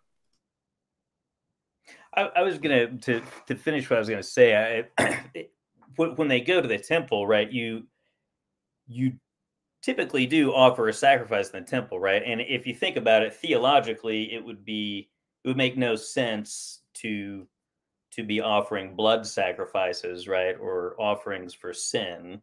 Uh, but if you if you're familiar with the sacrificial system, right, the the one uh, one offering that is not in any way connected with sin and it doesn't involve a blood sacrifice is the thank offering or the Eucharist, right, which is also specifically leavened bread. Um, that's other whole other issue, but but it's interesting. You know, a lot of times people don't think about this. They think, oh, well, this sacrificial system's been sort of done away with because Christ is the final, you know, sacrifice for our sins. But there is a sacrifice that's still left, right? That is not a sacrifice for sins, um, and it's it's the bread offering, right? The grain offering or the thank offering. Um, and in in the book of Acts, what you read is that the disciples would go to the temple every day, um, and then it says they would go home and break bread from house to house. And if you know about the the thank offering, it would be um, it, it, would be a pretty substantial amount of bread. And the the commandment says that you can't let any of it um, uh, you can't leave any of it over for the for the next day. Uh, and and the idea there is partly that you would um, you would then be sort of incentivized to to feed hungry people or invite people to come and, and share it because you can't um, you can't leave any of it over right? So you have to and you, you have to make a big amount so you have to share it with people. So it looked i mean it looks very much like i mean they're they're going to the temple to to worship and that's you would normally think where you would offer a sacrifice. And then it specifically says they're go they go home and break bread uh, from house to house. So it looks very much like the Eucharist, and it looks like they're still doing that, you know, in the temple and in a sacrificial sort of way, like with the Old Testament temple liturgy of the grain offering. Um, and then, of course, once the temple's destroyed, um, they uh, and and presumably in you know outside of Jerusalem and other places, they would just celebrate that on on their own. Um, but it doesn't look to me. I mean, uh, you know, you you still have to have someone sort of again delegated to um, to do that to make that that offering right and it doesn't seem to me that there's any indication that it's just again kind of a free for all like anyone can just consecrate the eucharist or whatever um, that i see anyway Right. I appreciate that. But David, is there any follow up uh, since you brought up or okay? All right, let's shift gears then uh, for a minute. So we recently did uh, on Faith Unaltered a couple shows. Um, one entitled "Why We're Orthodox," the other entitled "Why We're Protestant." And Dale, unfortunately, being a Protestant, uh, so he had some uh, issues going on uh, while we were doing that first episode, and so he actually had came uh, back on uh, the uh, the podcast in order to give his side of the story. And and there's a quote that I want to I want to read, and I want to get Jay. I want to get your opinion on it, and uh, Dr. Branson, I want to get your opinion on it as well. But in this episode, he says, uh, Dale says this. He says, "quote We have the Protestant Bible."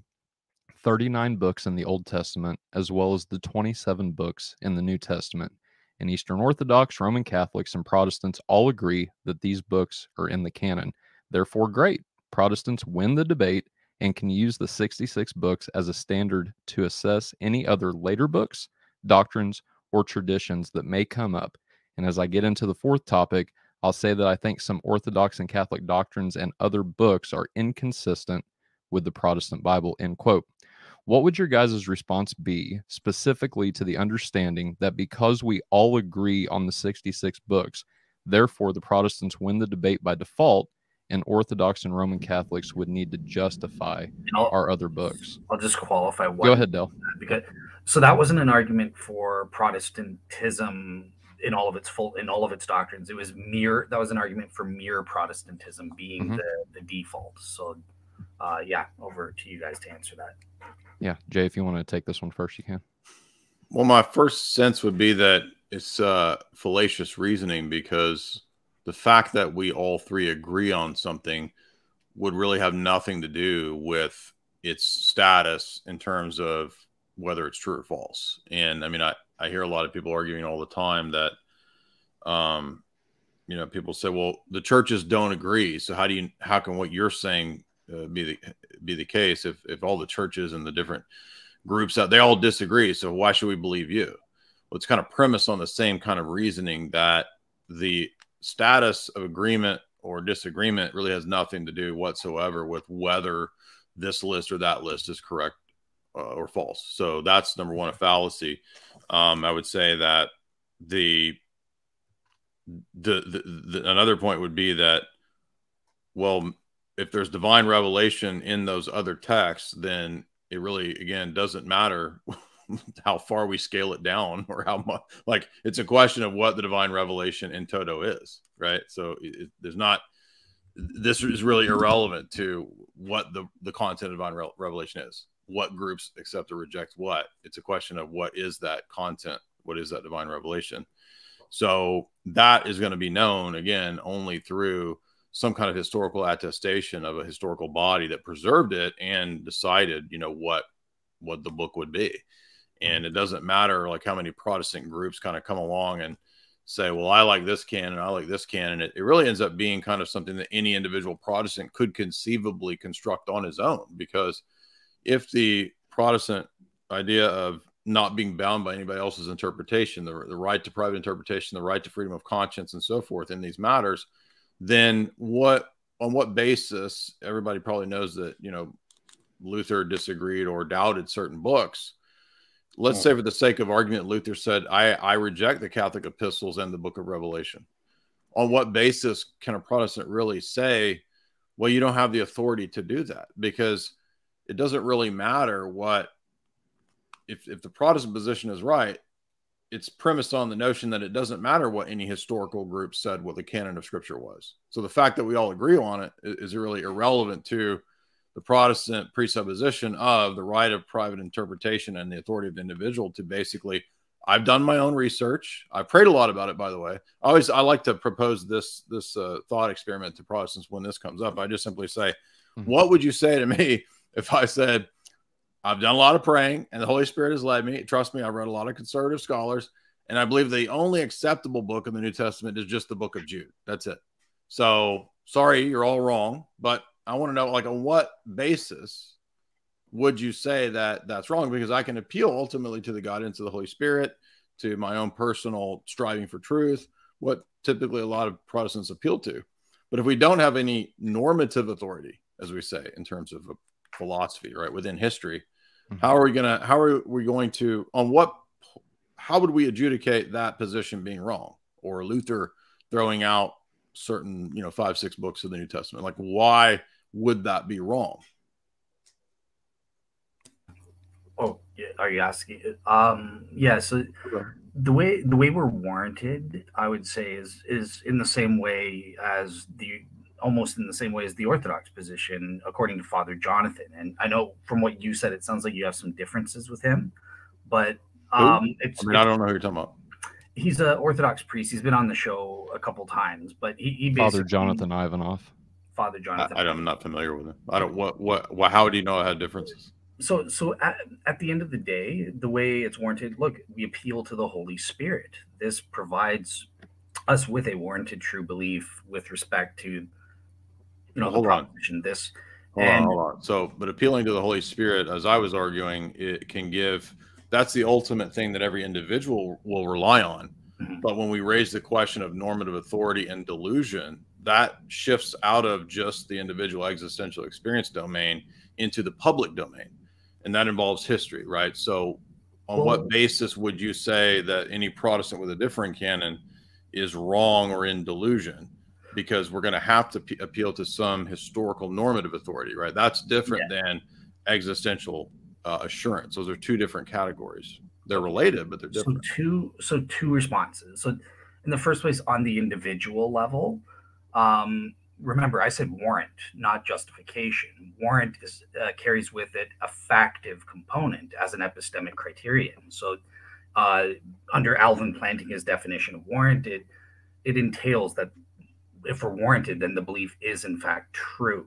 Uh, so that's just a part of the definition of warrant, uh, and then it just comes down to you. Do do you know internally uh, whether you're warranted or not? Um, yeah, but, but that's not. But I was talking about the public notion of normativity as distinct from the individual subjective assurance. Two different okay. things. Okay, so maybe I think I might be answering you with the second, more objective argument, and this is where I was trying to say I, I'm kind kind of like you guys, but a bit different in that I would say, look, it's the uh, this the Holy Spirit acting upon in true individual Christians across denominations over time, over all of time. And but hold yeah. on. So for us, for example, the list of canon that we accept would be Trullo slash uh, Sixth Council, right? So do, do you think that there's a, another way to identify the biblical canon than that historical process? I, I think that there yeah I think that there is I think it's it's just basically the Holy Spirit working within the. So there's not any public way to adjudicate between competing Holy Spirit claims. The only the only the only way to do that is by saying that I think that the majority of cr- true Christians over time have all accepted these books. And well, on that front there's only but again that's presupposing that Protestants, Orthodox, and Roman Catholics are all true Christians, and so how do you know you have the right definition or category of what? Who? I mean, are Mormons right? Are they excluded? Presumably, right? Yeah, they, they would be excluded. So, so that, but wouldn't they be excluded in part because they don't have the Nicene teaching of the Trinity? Yeah, that's exactly why I would deny them. Okay, so but does that mean that you accept the Council of Nicaea? I yeah, I, I believe that the Council of Nicaea more or less has true propositions. I don't think it's inspired or, or anything or infallible or anything, but well, what what what do you think goes into a council, for example? Do you think it's just the confession that's produced, or what, what do you think is entailed there? Yeah, so, so my understanding, and you kind of this is why I was asking you before, is I, I thought that the Orthodox view is that when a council comes together, they are almost getting uh, some kind of inspired divine revelation. Well, but I'm asking on your your perspective. I'm just wondering because you said I accept Nicaea, but when I go to the canons of Nicaea, I mean they teach probably 20 things that you don't believe. Are you are you familiar with those things? Uh, probably not. No, I'm just thinking of the Trinity aspect of it. So okay, but wait a minute. So, but Nicaea and then the Niceno-Constantinopolitan Creed says, for example, I believe in one holy Catholic and Apostolic Church, and I would argue that it makes sense to interpret that the way the people that wrote it, right, meant it. So, for example, Cappadocian theology, Basil Nyssa, when they wrote One Holy Catholic Apostolic Church there for the Creed, they're referring to the visible mm-hmm. episcopal structure that is attending those councils, right? They were bishops, they did the Eucharist, right? The Canons of Nicaea talk about the Eucharist, it talks about giving the Eucharist to the dead, it talks about feasts, it talks about virgins, it talks about all of these things that Protestants don't accept. So when you say, well, I accept Nicaea, Nicaea is predicated on a kind of historic authority. So it, you're not accepting Nicaea, you're saying, I accept the Trinity, not the Council of Nicaea. Yeah, uh, it's exactly. I think you said it was your second point that you gave in your opening, where I, I would take the view as a Protestant. Look, I'm accepting the true propositions that are that well, are in there. So yeah. now it's not the Council of Nicaea, and it's not even it's not it's you're right. Not the right the creed that's produced by the first and second councils, right? So it's the not the creed. the creed that I like. Sorry, the part of the that you like. Yeah, um, yeah, I, I would I agree with you as a as a historian. We would want to understand what the uh, people meant, and okay, for the sake of argument, maybe they meant a visible universal church I disagree with them. I think that there's an invisible universal church, so I would reject that part of the council. So, yeah, so I, I am subscribing. well, it's interesting because we don't, but see, through these centuries, then what you're saying is the true Christian appeared at first to be aligned with Nicaea and people's public confession, but now it's getting scaled down, right? What? Oh no, actually, it's not what you guys are saying. You guys are not actually a true church. It was what that would amount to. At least the classical reformers many of them were consistent enough to say that the Roman Catholic and Orthodox churches are, are not true churches. So is a true Christian now the per and this is this was your measure of then whose canon of scripture we accept. You see that it's getting whittled down to basically just being Protestantism. So it's assuming the thing the thing that was in question. Um so so in terms of okay, so to start off let me let me rephrase it like this, and I don't mean to cut you off, but so basically you're saying that the canon of scripture is determined by what the true Christians at all times believed. The true Christians at all times believe the propositions out of Nicaea that affirm Protestantism that I adhere to. So basically, it's just restating your position of what Protestant Christianity is, is now scaled down to what a true Christian is. Does the canon then is just what the Protestant canon was. But none of that, all of that is just a big circle so I wouldn't say necessarily all of true Christianity. I'm just saying kind of it's an argument that the default is one way we can identify which doctrines are true Christianity is that the majority of Christians uh, across sects or denom- different sects and denominations over time subscribe to it, and only the Protestant. Well, hold on, but in the Arian crisis, the big contention of Nicaea, Arian uh, Orthodoxy was in the far in the minority. So would that make Arian and semi-Arianism true because it was the majority at the time of Nicaea? Well, there's been about 1700 years where Arianism is not the majority view. So, well, but I'm saying let's just take your position and imagine that we're a Christian in the year 300. Well, how, how would your on your principles? How would we know where the where the the true delineator between a true Christian and a false Christian is? Well, we'll see that. Okay, so at that time, uh, we might have an issue, right? But I'm I'm saying for me right now, well, doesn't your position have to be true from the beginning? I mean, no, I'm saying we have a mechanism today as Protestants to know. Um, that just so it's not the same mechanism. Protestantism works now. It wouldn't. It wouldn't have worked for the first several centuries. Yeah, they would have had another mechanism to tell at that time because and, yeah. and that would be what? I mean, yeah. so is that this is basically an admission that the first several centuries of the church is not the Protestant church, right? No, uh, again, it couldn't have been Protestantism. It is then, biblical Christianity. Um, well, so it was biblical Christianity at this point, but they don't have access to a clear canon and no way to really recognize the true and the false church, is what you were admitting. No, I, I'm I'm saying so they had a different mechanism, right, through the Holy Spirit of recognizing which scriptures um, in the first century they they also had. Yeah, what is this mechanism, and what do you have any evidence of this from history, or what, you're just sort of asserting this? I'm not trying to be mean. I'm just saying like. No, I mean, saying, Jay, you're kind of leading him too. Um, let him answer first. Let's let's see what he's got to say in a roundabout way first. So, well, he's asserted the mechanism. I just want to know what. Yeah. What so, so okay, let Jay, let me ask you a yes or no question. Would you accept that there could be additional mechanisms that apply today that maybe didn't apply back then that are valid? Like progressive revelation or something? Yeah, are you saying like that we today, because of information, the internet, we have access to mechanisms for determining things in history that they didn't have then? Is that what you're getting at? Well, no, because the original question that Tyler asked is my my mere Protestantism as the default. So it's an it's an argument that I had, and the principle of how do I how do we discern that today? Is that okay? Well, for two thousand well, years, uh, the majority of Christians across denominations or sects all accept these sixty six Protestant books. Some of them accept others, uh, additional ones, but everyone agrees on these. So we can say at least these we know are inspired.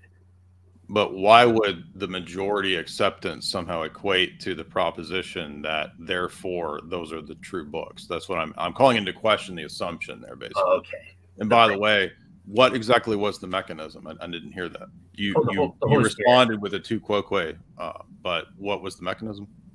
Uh, it's the Holy Spirit producing properly basic beliefs with respect to these books and their status over over time across the denominations. So, in fact, in the third, fourth, and fifth century, the true Christians did know the canon of Scripture.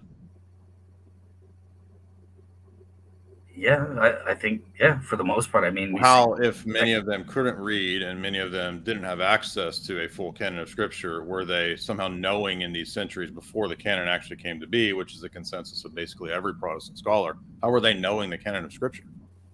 Yeah, so I think I think you're right that the that the people who were illiterate couldn't read it for themselves, but they could have that was most of them, right? They, they could have it read to them um, and in that case, they recognize the word of God that's being read to them. But at the local churches, as I showed from Lee McDonald, many of them didn't have the full 66 books nor the full Orthodox canon eventually, which comes about by the Sixth Council. So, what I'm saying is, what's the mechanism by which they're supposed to know the canon of Scripture, which by, I'm just saying, by necessity, they hmm. can't know that, you see. Oh yeah, well, I mean, yeah, of course. I, I, don't think any Christian in the first century knew the full canon of the New Testament. Well, say the third century. So remember, this was supposed to delineate true and false Christians, and you're saying that it's the lowest common denominator of people who believed in the things that were taught in Scripture, but they didn't even know what the Scriptures were because they didn't have access to a full canon. That's kind of what I'm getting at. So the average guy in the year 300, shouldn't the means of salvation be the same for somebody saved in the year 300? to somebody saved in the year 2023? Um, not not necessarily. So the means of salvation, yes, the conditions for salvation, but not necessarily the means of learning that. That's that's what I was trying to argue. Is that today we have an additional mechanism that I think warrants my my Protestant default argument. Uh, and you're right. I that that type of argument wouldn't necessarily apply for Christians in 380 or before. So I would need to postulate some other mechanism like the Holy Spirit, James White type type argument, and we can debate that. So, but how? But doesn't it matter which canon we have, whether it's right or wrong? Right. Well, I mean, I don't think so. I mean, no one in the so first. I thought the, I thought the canon was part of true and false Christians. So now, but it's no, not. it's not an essential uh, belief necessarily. The way the way I, well, it's indirect. So I could conceivably scale it down to just the Book of Jude so the way so the way I determine the essential, you know, you're you're a damned heretic versus you're a Christ a true Christian, is from the Bible. So it, it's whatever the Bible explicitly. But the question originally was, what are the contents of the Bible? So that's being assumed in that answer. exactly, it's implicit that you need to know what the what the criteria are. So on and that's that, what we're here to talk about. So you know, we can't just say, well, it's the Bible the Bible is the Bible. How do we know what books are the right list of books? For example, and the reason this matters is a point that, for example, Luther makes. Luther makes the point that, well, I definitely don't want Maccabees and Sirach and some of these other deuterocanonical texts in there because they give credence to the notion of uh, prayers for the dead. They give credence to the notion of works going up as a memorial before God. Um, so, you know, for Luther, it was very important to exclude those because the three the theological presuppositions that Luther had to set works and law and grace and law in a dialectic couldn't allow for texts that could be supportive of what he was arguing against Catholics, right? So, in other words, his theological presuppositions determined for him the canon of Scripture. And I'm just saying that it seems to me that Protestant position would be a lot more honest if it was. And I'm not calling you out or saying you're a bad person. I'm just oh, saying if we were to say that, look, you know, ultimately Protestantism's view of the canon presupposes Protestantism. That that's kind of the point. I'm not okay. I, I need to think that over. I'm not sure that it presupposes it, but I, yeah, like. Can I, can I just interject one thing that it's it's not the case that everyone agrees on those 66 books, too. So, I think that's something you're maybe not taking into account. Like the uh, doesn't have uh, second, third John or uh, second Peter. There's an Armenian canon of scripture that doesn't have a few of the books. Um, I mean, so there are there are New Testament canons uh, and Old Testament canons that are that are smaller than the Protestant canon. Yeah, but the majority of, of Christians over time across. I, mean, I think the majority why are we supposed to time are Roman Catholics, aren't they? Yeah. So we should just be Roman Catholic. No, no, I'm I'm just saying that's we can accept what what the majority of those Christians across denominations accept. On what Which basis? is Roman Catholicism. You know, what Scripture is right. On what basis are we supposed to adopt the majority position argument? That seems to come with pa- prepackaged with assumptions, basically. Well, I think because the Bible tells us that the Holy Spirit. So this is now us. we're back to the Bible, Yeah. and I'm I think, asking. the, I think the about- bottom line of it is, it, I, I- I don't think we're getting a non-circular definition, right? I- Isn't that? I mean, it Yeah. seems like we're sort of defining the Bible in terms of what true Christians believe, but then how we determine who's a true mm-hmm. Christian is going to deter- be partly determined by what's in the Bible. which amounts to a Protestant reading. So if I can interject here real quick, is this so? I watched your debate with Pedro, Jay. Is this the same line of argumentation that Pedro is using? That it, I don't know, it took a little bit of the debate, and and he still really didn't grasp uh, what you and even the audience was trying to show him in his circular reasoning. Is that kind of the same thing that's going on here, or or am I off? there was a point I think in the debate where Pedro did uh, go down this line of thought. I remember two specific points that he made. I think one of them was this point, which I was just again trying to say, well, look, you know, it's fine to say these things, but when we actually dig into what is meant by those things, it turns out to really just be a restatement of the original proposition, which would just be a circle basically. So, um, and by the way, I'm not being unfair because I would say, for example, in a lot of Roman Catholic debates I've had, Roman Catholics will say something like, well, look, the only way to know the Bible is through the office of the papacy. Otherwise, we wouldn't know what books are supposed to be in that collection. And they'll just sort of default to, again, those Augustinian, Damasian, uh, Pope Damasus synods and say, well, see, this is how we know. Mhm. But then at the same time, it's they'll say, well, the reason we know the papacy is true is because of Matthew 16. So Matthew 16 is confirmed by the papacy, but the papacy is known because it's confirmed by, by Matthew 16, and that's a circle. And if a person does want to make a circular argument, then okay, that would be consistent with a certain type of epistemology. But 99.9% of Protestants and Roman Catholics want to have a type of an evidentialist, uh, you know, foundationalist epistemology approach, and so that's going Right. to be difficult, I would say, for them to tease out. But yeah, uh, and then Pedro had another argument about divine artifact, which was that if God from all eternity knew the canon, then the canon, the six six books, the Protestant canon, was predetermined in the divine mind or something like that, which is it just ignores the historical realities of the fact that yeah, but it didn't just drop into our lap. Like the the book and its transmission and its history has a has a formative process in these centuries of the church. Mhm. And again, you know, I would argue that if we want to have a lowest common denominator of Christianity, then it's going to be the same doctrines and dogmas that were, requi- were, were required in these centuries. And when we go to those centuries and we find the Niceno-Constantinopolitan Creed as the the the basis for what you would have to believe and would be catechized in, and we can go and read, for example, Saint Cyril of Jerusalem when he when he does catechesis, the Mhm. catechetical lectures, very famous uh, uh, patristic corpus. It's modeled on the creed, so he just exposits in a catechetical way the teachings of the creed. And this is the this is the Bishop of Jerusalem. This is and this is consistent with what the other bishoprics in Christendom are teaching. Mm-hmm. So they're expositing and teaching these things the way that we as Orthodox exposit and teaches them teach them. So this idea that you can give verbal credence to these centuries, and then when we actually dig into it, we find out that it's it's not really credence because most Protestants, most evangelicals would not have anything to do with the actual church where Athanasius was at, Mhm. right? They would they would be running him out, or he would be running them out, right? Oh. So that's the reality of the situation. And in fact, a lot of Protestantism actually matches up to a conglomeration of many early church heresies. There's elements of Marcionism, elements of Gnosticism, elements of Massalianism, Montanism, and depending on what Protestant we're talking about, we actually have precedent in a lot of these heterodox groups, even in Irenaeus's day. When Irenaeus in 180 writes about, you know, what doctrines are necessary to join the church, right? As a bishop, if you're going to join my church, uh, you're going to believe in the tradition, he says in book three of Against Heresies, that aligns with the apostolic succession. And he says one of those great churches is the Church of Rome, which, because of Peter and Paul, has a lot of honor.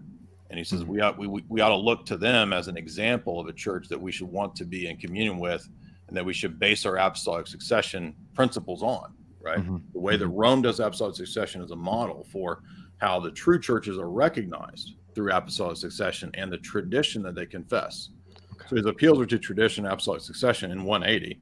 Mhm. Again, for the or, Orthodox normative church of that time. So the the point is just that if Protestantism is not a historical reality, then there's at some point a division, a divorcing, a loss of what the and it really doesn't matter what flavor Protestant it is. You're ultimately going to have to come back to some kind of uh, blackout view, right? So the apostles lay down the, the the positive faith, and then depending upon which Protestant we're talking to, right? It's well, it was all blackout, or well, they had a lot of good but a lot of bad. Mhm. Um, and it's sort of like, well, why are people who are basically heretical the ones that are preserving and determining the canon of Scripture, right? Right. It, it seems to not really make sense, given the fact that you might argue that in the Old Testament, okay, so the Jews were often heretical, uh, they fell into heresy, but the church is different from Old Testament Israel. So Protestants like to use Old Testament Israel as a model, but we can't absolutize the period of the Old Testament because the reality has come to replace the type and the foreshadowing.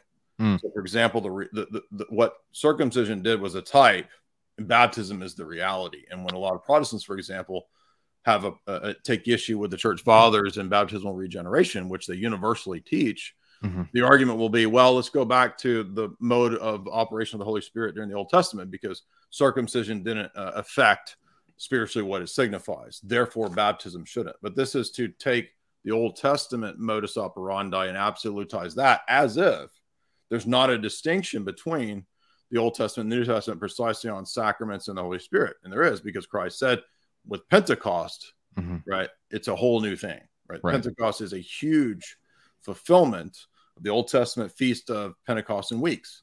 So it it's the reality of which those things were the types. So we can't go back to the types, but much of Protestantism is predicated on this point on returning to typological and shadow realities. I gotcha. I gotcha. So let me ask you this real quick, and then we, we can just uh, have another discussion around the By the way, is why baptism and Yeah. the real presence are so important. Baptismal regeneration and the real presence. Right on, right on. I appreciate that. So let me ask you this, and forgive me. I just want to make sure that I've got this down, and and our audience has got this down as well. So if you were to answer the questions that you asked Dale specifically about understanding and knowing what exactly the canon is, how would you? Uh, and and you can be brief if you want to. Um, how would you argue non uh, without begging the question? Uh, how what would your answer look like? Uh, like I said, without begging the question. Yeah, we have to go to the historical testimony and witness of the church fought. So, the, obviously, the internal evidence of Scripture that it doesn't tell us what books make up the book of the Bible. Right. There are cross-textual references, sure, between different authors citing other authors, Mhm. and different authors citing certain Old Testament books. But if that is is if pure citation is somehow canonicity, then well, now we've got the, the Book of Enoch being cited. So, uh, and no pagan philosophers, right? Sure. Uh, yeah. and we also have um well again we, we- don't we don't have throughout the roman empire and the sees of the early church we don't have a consistent canon we have varying canons of varying lengths but we do have a body of oral teaching that accompanies the interpretive the, those texts because texts don't just stand on their own this is another thing that i think protestantism rests on this um, enlightenment and and and, and post printing press notion or something this weird idea that the text just means what it says and it says what it means Mm.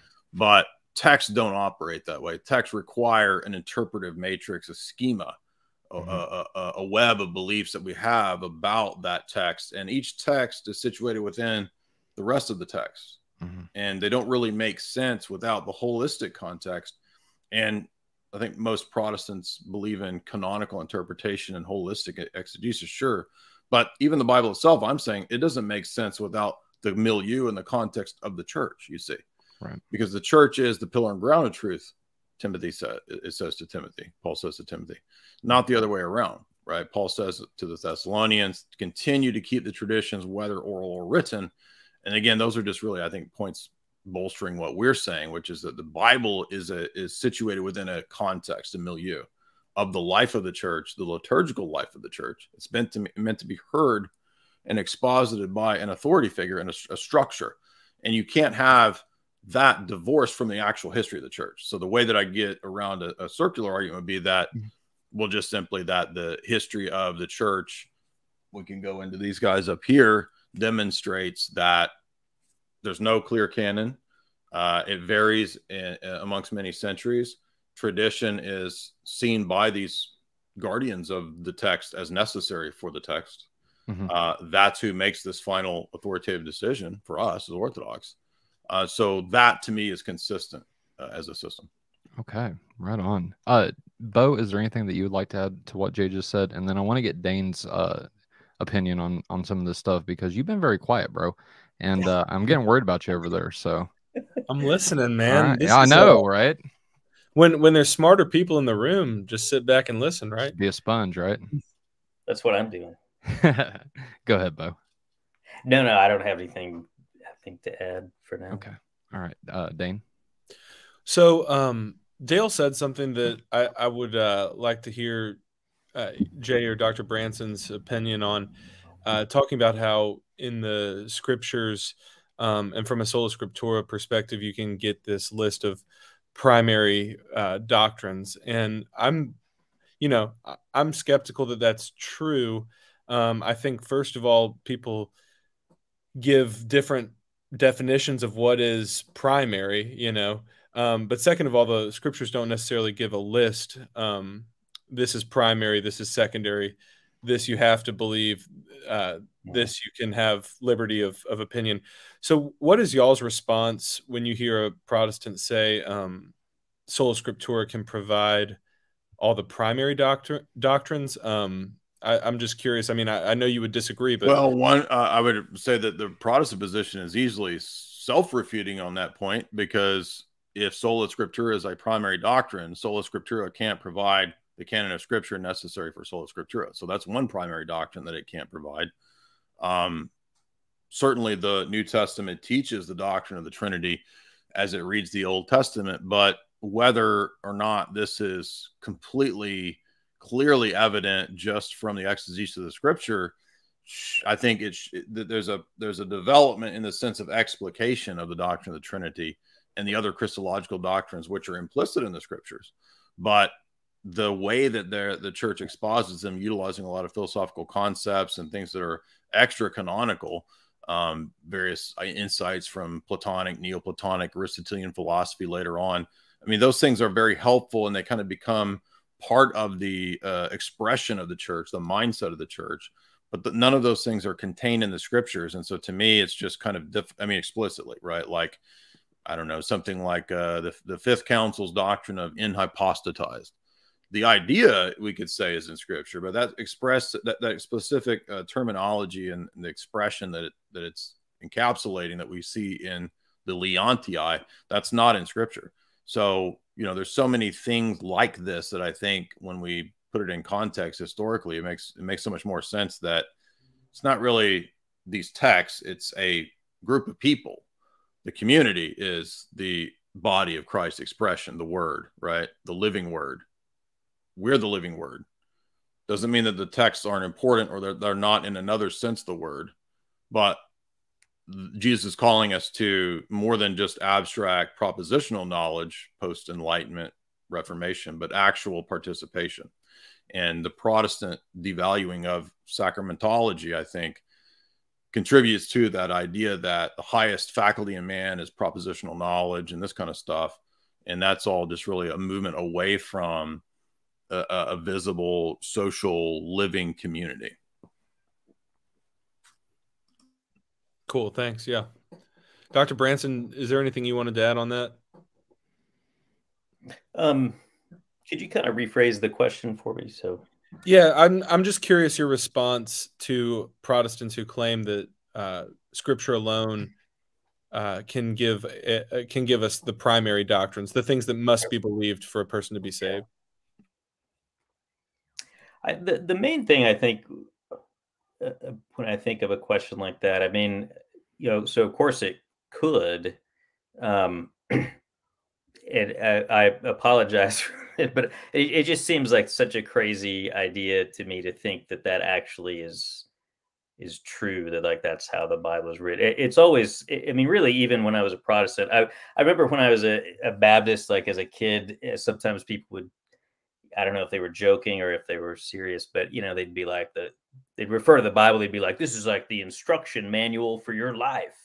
And, and i always i mean even as like a you know teenager i was like this is a really poorly written instruction. You know like like there it's not arranged by topic there's no index like it's like they're just like that's just not at all how it's written. Um it just has always struck me as a really crazy idea to think that the bible is supposed to be um like this you know people talk about the clarity of scripture and it just seems um i, I just i can't I can't figure out why anyone would think that unless they just had to, like if unless they were forced into it by, you know, sort of a system that that requires it. Because I mean, I just didn't. I just like, why would you? Like, why would you read lamentations or something and think, oh, this is so it's like the Summa Theologiae over here, you know, just so, so laid out in such a clear system. And it's obviously not. I mean, I, you know, I, I don't know. I like, could you, I guess in theory, like, could you go through the Bible and figure out what are the primary things or something? I mean, I, I guess, but, um, I mean, it's certainly not like, I mean, it's obviously not written that. It just, it's always just struck me as a really weird thing to think and I don't know what evidence it's based on. Like what?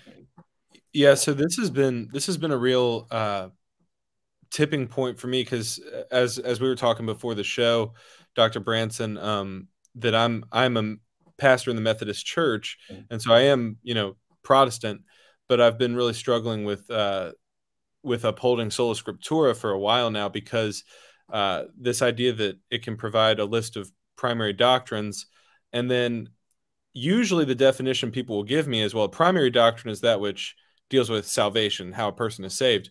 Mm-hmm. But Protestants, we don't even agree on that, right? So uh, yeah. some Protestants would affirm baptismal regeneration and infant baptism, while others would not. And um, you know, I'm I'm more on the side of baptismal regeneration and uh, big proponent of infant baptism. But uh, you know, a Baptist would disagree with me on that, and I'm like, well, at this point, we're two Protestants that disagree on a primary doctrine because this deals with how a, a, man or a woman is saved. Like, so um, I've been, uh, you know, I'm I'm as uh, I, am definitely still a you know believing in the infallibility of Scripture and the inspiration of Scripture and the the, the divine authority of Scripture, but sola scriptura is a little too far for me. So. Yeah, no, I, I agree. It's one thing that always struck me when I when I was a Protestant is, it, you know, I felt like, I mean, either the Bible just is not clear, um, or we're all idiots, um, or I have to just uh, anyone who really disagrees with me on something serious, I have to just assume that they are evil or uh, be you know stubbornly resisting something that is really you know but but the reality is it just seems so obvious to me that um, you know there are sincere people who just did you know sincerely disagree about um, about some things and i don't know. Right on guys right on. So here's the thing. We are at the two hour mark. I've got one more question left um, would you all be interested and if not that's okay um, i've got one super chat right now so i would like to get to that but would you guys be interested in answering audience questions after we wrap with this question Sure. Okay. I'll I'll probably jump off, but um, yeah. I'm I'm in it for your last question for sure. All right, sweet. So if you have a question for Jay, Beau, or the or the panel, uh, go ahead and send us that. As Josh said in the chat, super chats get answered first, uh, and it would really help supporting our ministry as well. So thank you for those. So Jay, I've heard on a few of your videos now that deal with sola scriptura that German theologians and scholars after Luther used like higher criticism to dissect the scriptures. Can you give us a brief timeline of the key points of this happening from Luther's time till today? And does the logical outcome of this process result in something akin to what Marcion did in the early second century? Well, certainly Luther himself believed that the text of scripture, at least at different points as he saw them canonically, because there seems to be some fluctuations as to what he thinks is the canon over time. And, and I've read a lot of Luther. I've actually read more Luther than Luther and Calvin than I have any of the other. I haven't read a lot of the second generation Lutherans or whatever, but I kind of had a phase when I was really into Luther. So I got heavy into his ideas when I was 18 or 19. And um, what what I see is kind of like a lot of rhetorical flair and a lot of sort of doubting at different phases of what he thinks the canon is. And what I argue when I argue this point, I think people uh, there are scholars that have made this connection, but um, there's a couple books that Father John Whiteford recommends that go into this. Which, if you go watch our stream that we did, he he he recommends some of those texts. Mm-hmm. But the idea is that Luther kind of set the stage because he was a kind of a translator textual critic scholar to a degree. I mean, he translated, you know, the, the Luther Bible, but um, the the new the new German New Testament. But uh, the problem, I think, is that the principle that he lays down of doubting the canonical rule, which had been pretty well established in the West for a long time, you know, up to his time, that really set the stage for transferring the preser- preser- preservation of the scriptures from the church or some ecclesial entity, now it becomes the purview of the university. And we see this directly going on with Tübingen and the different uh, German universities that now take it upon themselves to kind of be the locus of the authority for scripture. And the whole of Protestantism ends up going in this direction over time. It may not have, it's not overnight, so I, I don't know the exact, you know, like critical scholars, like a generation after Luther, because I've never really followed the the Lutheran tradition that much. But I can tell you that, you know, I don't think it's accidental that Julius Wellhausen, who is the father of the documentary hypothesis, he's coming out of these schools. And so he's kind of the first to say, um, I'm, I'm going to go on a, a, a, rampaging, you know, quest against anything that has to do with ceremony. So he, he just sort of wants to purge the Bible of anything ceremonial. And this leads to the theory of there being different uh, JEPD, the Yahweh school, the Elohist school, priestly mm-hmm. school, Deuteronomist school. And, and so now the, the, New, the Old Testament is first on the chopping block to get sort of divided up into this, which is ultimately a denial of the uh, continuity and coherence of the text. But remember, Jesus said, if we accept the Gospel of John, the scripture cannot be broken. So this is a really strong breaking of the scripture because now we're sort of dividing it up into an incoherent jumbling of different competing schools based on the terms that are used, the names of God that are used in different sections.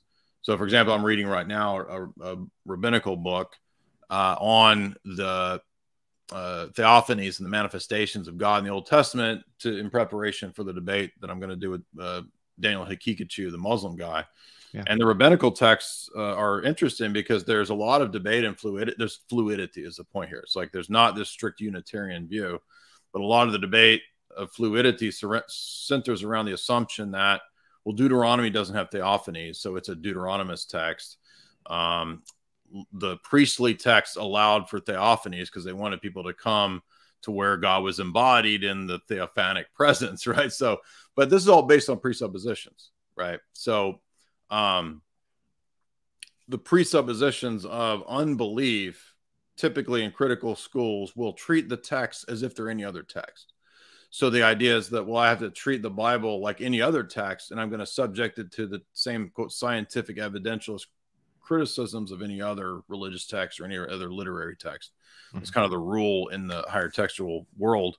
But again, that really just assumes the Bible isn't what it claims to be, right? Because if the Bible is what it claims to be, then it's not going to be subject to this typical, you know, kind of unbelief approach. But I mean, you can you can definitely trace uh, Luther's questioning, I think, of the canon and the rise of Protestant textual criticism from there straight to Julius Wellhausen and all of the documentary hypothesis, which ultimately leads to the complete dissolution in the academic world of the Old mm-hmm. Testament.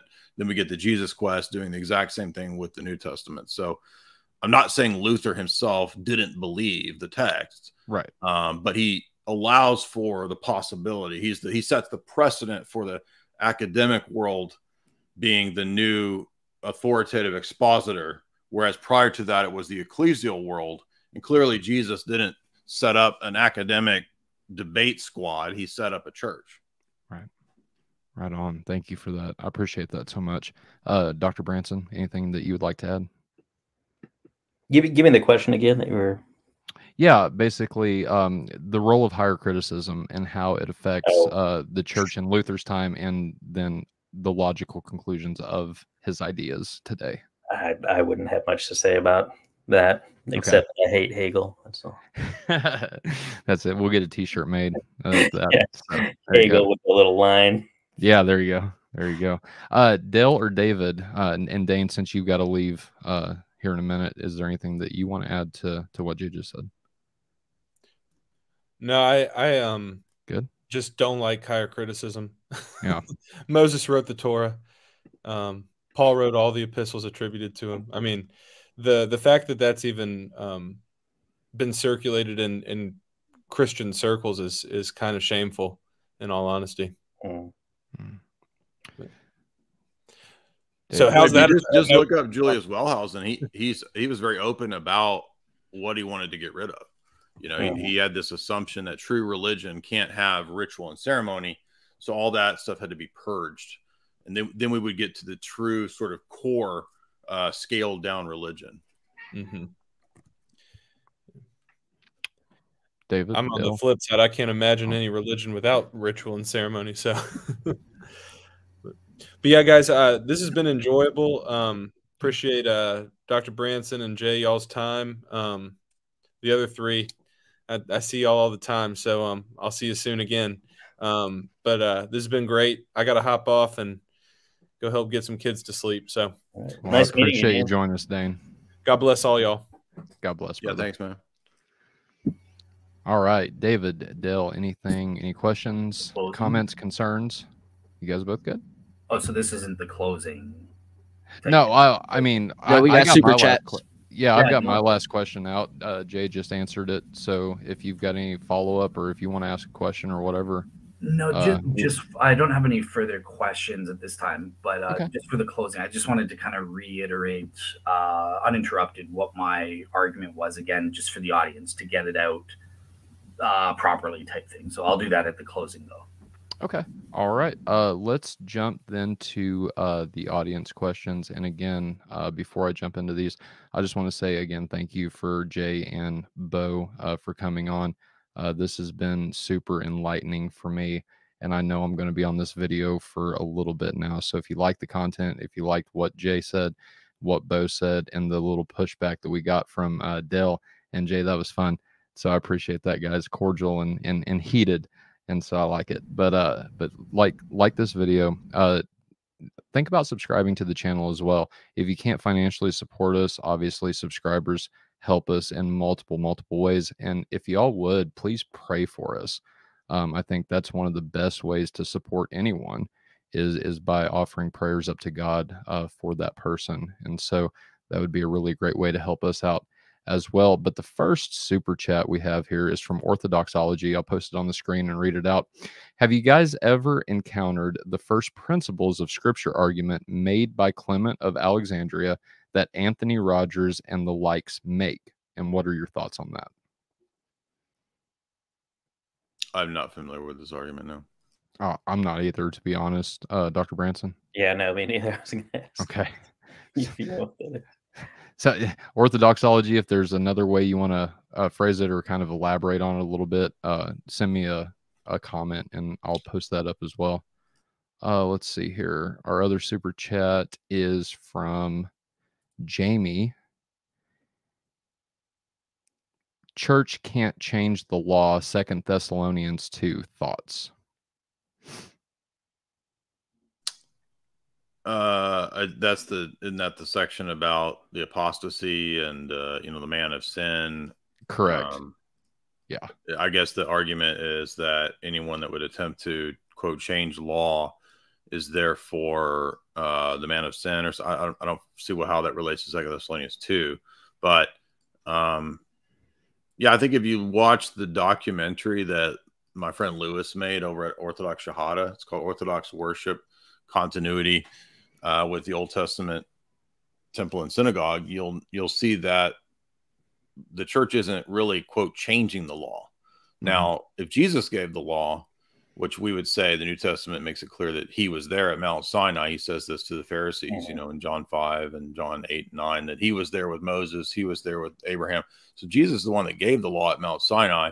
And if certain ceremonial or dietary things referred in their practice and their celebration by the Jews to him, and he fulfilled those things, then they can still be kept in a unique spiritual way.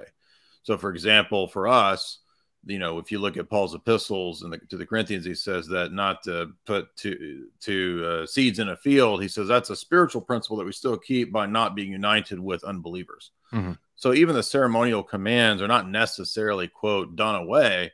Uh, they might be fulfilled in a certain way that they were kept by Israel, but then spiritually still kept by us as the church. And then some of those ceremonial commands are also still kept by the church. We still have holy places. We still have holy water. We still have an altar. We still have uh, incense and a temple. And a lot of those things that were in the Old Testament, we still have. Um, but I would also add, too, that for the Jews, it was never the Jewish idea that all of the laws were supposed to be kept by the Gentiles anyway. I mean, it's physically mm-hmm. not possible. So, yeah, I was going to say that, that it's something I've noticed. Um, I think it's one thing that attracted me to Orthodoxy too was I, I felt like I didn't really find a lot of churches that I thought had a coherent relationship with the Torah. Um, and of course, yeah, it, in Judaism, um, you know, Jews don't expect Gentiles to keep the Sabbath or keep kosher or you know any any of these things. There's uh, in, in, Judaism, there's there's the idea of the Noahide commandments, which for them there's seven, um, uh, which are so if you if you think about that, the idea is sort of sort of like concentric circles, right? So you've got you know Adam and Eve.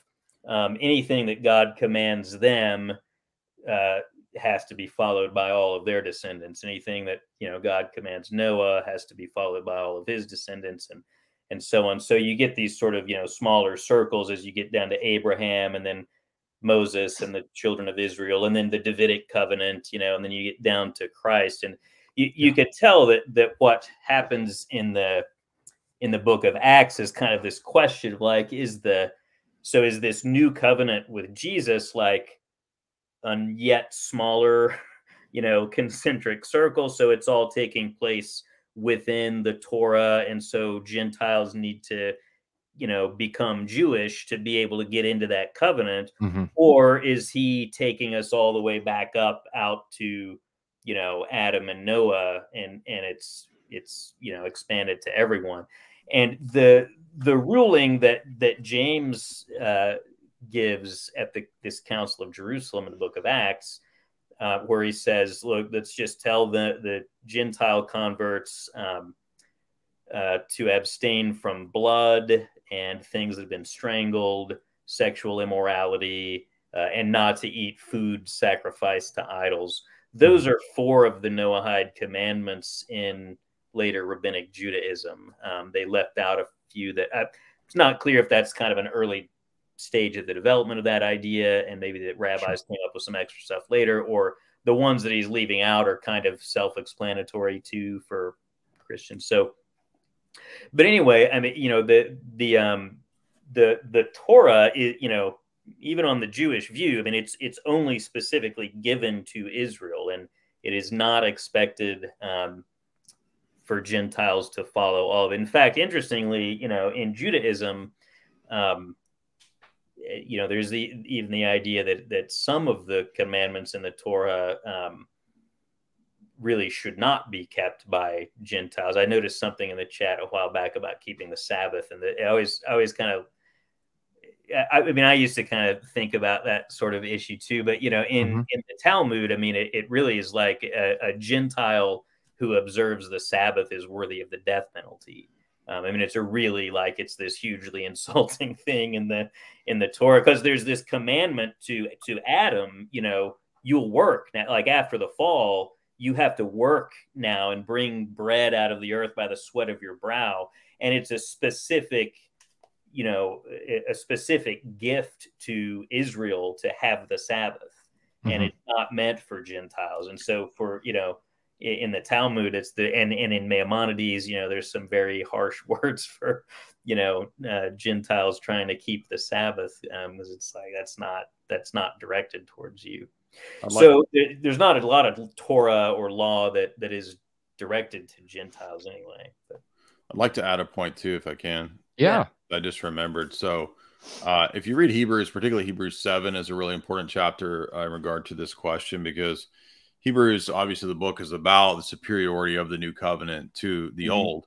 And we might be tempted to think uh, on a surface reading, maybe that, well, Hebrews is really just saying that all the Old Testament stuff is fulfilled. You know, when I was a Protestant, I typically read it that way right. although uh, I detect that this question is kind of coming from probably a messianic Judaism or Hebrews roots kind of uh, vantage point or something like that. But if you read Hebrews 7, it's very interesting because it notes that contra the uh, sort of messianic Hebrew roots type of attitude, there is still there is still a, a priesthood, but it's a new priesthood that is is fulfilled the Aaronic priesthood. So in other words, priesthood didn't go away Mhm. the Aaronic priesthood was instituted as a lesser, uh, newer priesthood from the Melchizedekian priesthood. right. And Mhm. Hebrews is making the argument of superiority of the Melchizedekian priesthood, and the church is the Melchizedekian priesthood. This is very important for us because it's a great, it's a crucial argument that we have to make against Muslims because Muslims want to re- retain worship from the Torah and the prophets. Yet there's no notion of sacrifice, no notion of temple, no notion of altar, no notion of priesthood. But God has always had a priesthood. And in fact, Hebrews 7 is arguing that the eternal heavenly priesthood of Melchizedek is the priesthood of Christ. Mhm. So that was typological of Christ. It's superior to the Aaronic. The Aaronic was an image of that, believe it or not, is what I think Hebrews is arguing. So it's saying that Wow. in verse 12, the priesthood being changed, therefore there is a change of the law. So in fact, you're correct. The church can't change the law, but the God man can change the law. Right Right on. That I love it. I love it, guys. Uh, so the next super chat we had is from Deanna D's. Uh, let's see. She said, "Thank you for having Jay on." Uh, I know we just got one. Let's see here. Uh, Solomon, Jay's ultimate appeal is same as yours, Dale. Holy Spirit. Um, So I made a distinction between normativity and the notion of public authority and a separate question of the individual's subjective assurance, which comes through the Holy Spirit. So I made a distinction actually between these two different things, which are often conflated. For example, you hear, you'll hear Roman Catholics do this a lot, where they say, "Well, the only way for you as an individual to have certainty is the Pope." But, the, but does the Pope really do that? Does he actually function to give individual certitude? And that hmm. question and that sort of bait and switch that the Roman Catholic apologists are doing there is kind of trading on an ambiguity of category confusion. So normativity and public authority is not the same thing as personal subjective assurance. Those are two different things. They relate to one another, but they're two different things. So my ultimate, the fact that my ultimate appeal is the same really doesn't say much because in the, in the final analysis, everybody's going to appeal to the Holy Spirit. right. That's what I said at the very beginning. The Protestant, the Roman Catholic, the Orthodox are all going to say that for the individual's final ultimate appeal of assurance, it's going to come down to the Holy Spirit. So we all, if we all agree on that, well, then why do we have all these different groups and sects and churches? Well, that's because of the historical public uh, uh, events and debates and you know the messiness of church history, right? That that's the public domain, and the debate that we're ultimately having here is not whether the individual can have a, a, assurance. The debate that we're having is what's the public normative authority that states what the canon is, what the scriptures mean, and binding and loosing. Dr. Branson, anything that you'd like to add? No, I think that's right. I, I always think it's weird when people. I just find infallibility such a weird thing to argue about because if it's if it's you know if the idea is we're talking about like knowing something with a hundred percent certainty or something, Right. um i mean i'm not i mean like let's suppose the pope is infallible or something like I always think, well, good for him. Like, I wish I was the Pope so I could know. but, but like, I'm not. I'm not. I'm never going to be a hundred percent sure that the Pope is infallible. So, like, if he issues something, I mean, if he says something, I think it contradicts the Bible. Like, I'm not gonna be like, oh, I guess that's really the right way to think about it. I'm just think like, oh, I guess I was wrong that he was infallible. Mhm. So you know what I mean? Like, so it just Yeah. seems like I mean, because if if I mean, even if I've got like ninety, I'm ninety nine percent sure that he's infallible. Like, just the way probability theory works out. Like, if he says something, I'm like ninety nine percent sure isn't right, then I'm just gonna have to revise my probability distributions and thing. Well, I guess he wasn't infallible. After all, so I always always fine. And then if you're just talking about infallibility, like like it's this metaphysical thing, like he's just got this magical power, so that he'll he in fact will never be wrong. Like great, but is but if I don't have any evidence for that, then it doesn't help me. So it's so yeah. I mean, uh, so yeah, I do think. I mean, yeah. Obviously, ultimately, everyone just has to think about things for themselves, and hopefully, the Holy Spirit leads them to to the truth or whatever. Like, but that's kind of an epistemic point, and I take it the that's a, Jay's just saying that's a separate point from like who has authority. Sort of like I would say that I mean the Supreme Court has the authority in the United States to interpret the law, and that's who has the authority. How do I how do I know that for sure? Well, I you know I read the Constitution. And I I took you know social studies in high school or whatever, Yeah. and you know they could those my teacher could have been lying to me or they could have been wrong. I could misunderstand it or whatever, but Mhm. I'm pretty sure There the is way no Supreme Court. It's all AI generated deepfakes. And the whole time you thought there really was a court. There's not. yes, that is probably true. and you know that with 100% certainty. Yes. Infallibly. Right on, right on. Okay, guys, so that's uh done with the super chats. We do have a, oh no, wait, I lied. There's one more that just came in. No. Uh five dollars per aspera ad astra. As an evangelical atheist, I still find the untangling of church history and religious ideas fascinating. Good to- good content, guys. Ex evangelical atheist. Ex-evangelical, yeah. Oh, okay. Maybe. Used Thanks. to be. I was- That's not me, by the way, putting that in there. you read my super chat wrong. No. no, that's uh yeah, that that caught me off guard for a second. I was like, wait a minute, because I have heard of like, you know, Christian atheists, which I don't know. Uh, I want to interview uh, one of the girls that I saw on TikTok uh, advocating for that position. We were supposed to set something up, but it never came to fruition. But that's okay. Um, so okay, so there was a couple questions that came in that was not super chats, um, and they're kind of I don't know, almost I get the sense of like imperative that they want me to ask you, Jay. Um, so this first one is, and I don't know what this acronym stands for. Uh, maybe you do. Can you guys please ask Jay about Choq? Yeah, that, I think they're just being funny. That's uh, Okay. I, I have a sponsor, so my sponsor is Choq.com. So if you're looking for ways to boost testosterone, use the promo code J50 J A Y 50 at Choq.com. right on right on okay um let's see here orthodoxology maybe jay and beau can bring up some common objections i don't know I can, david did you put that one on there no dale Common objections to what? Good That's, question uh, To this? To Did that. to to the critique of social media? oh i think maybe some yeah uh common, Common objections objections here against orthodoxy, I think, is what he's asking for. No, or or against uh, Uh, yeah. i was thinking more on the sola scriptura line but And with that, that's a wrap. yeah.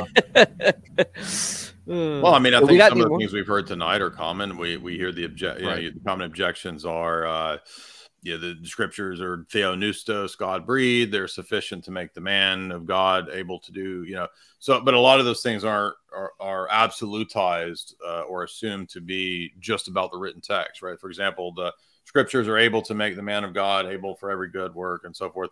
Well, but th- does that mean that that's all that is needed because the scriptures are able to do that, right? I mean, the, the church is also able to help the, you know, don't forsake the assembling, right? Pray with Mhm. one another. Those texts a lot of times don't mention other things that are integral to what we do, like prayer or going to church. So we wouldn't absolutize those things as if nothing else was needed or necessary.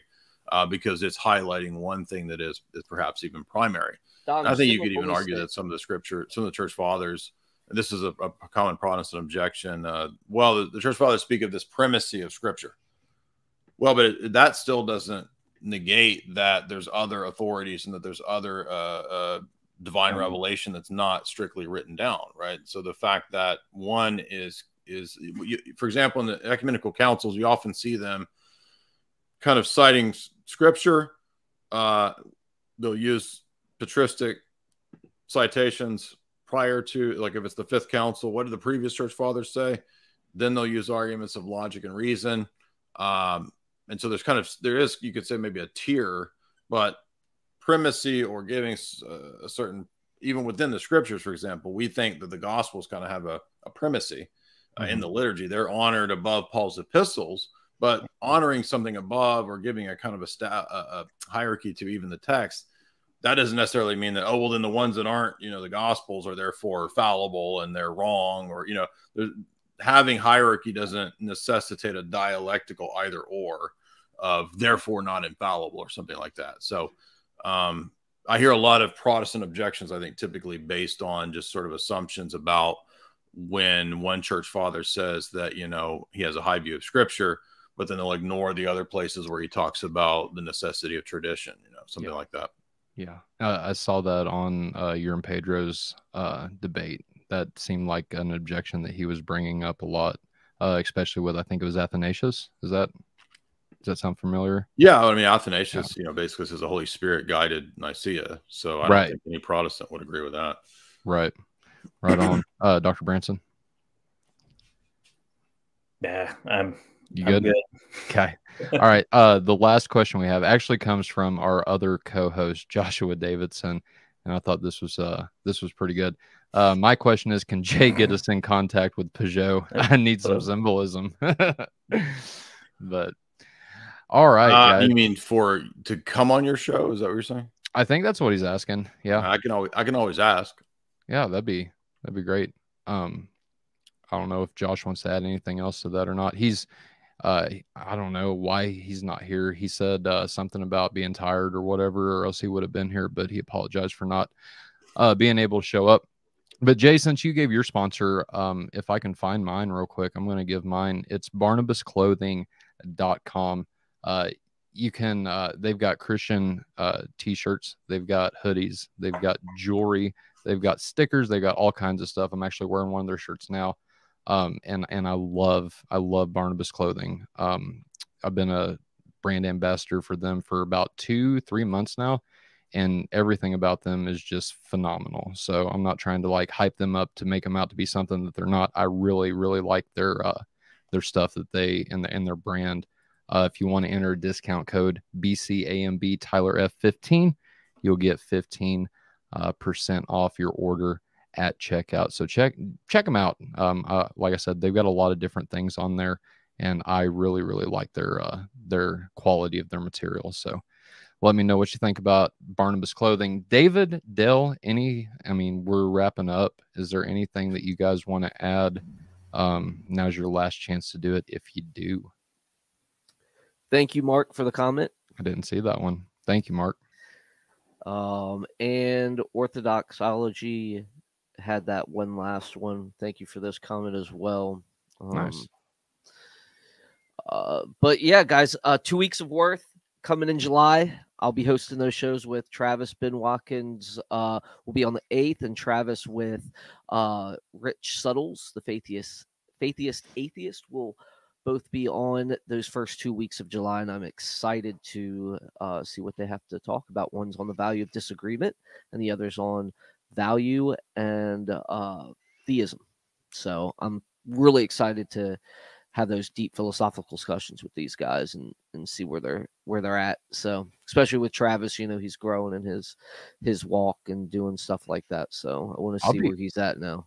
I'll be interested to see what Travis brings to the table too on that one, since he's converted to Orthodoxy as well. And see if Well, you're not allowed part. to be on, so I'm not going to be. on whole month of July. I'm taking a break from from all of I this. Yeah, So yeah, my wife's yeah. pregnant, and I need to spend some time with her before this baby comes. So, Yeah. so if y'all could be play, uh, praying about that, that'd be that'd be great too. But yeah, she's what uh I want to say 11 weeks this week. So she's, you know, it's Wow. still early, but she's definitely feeling that first trimester pain. So uh, be praying for her if you would. Yeah. Uh, but Dale, is there anything coming up on Real Seekers that we need to know about?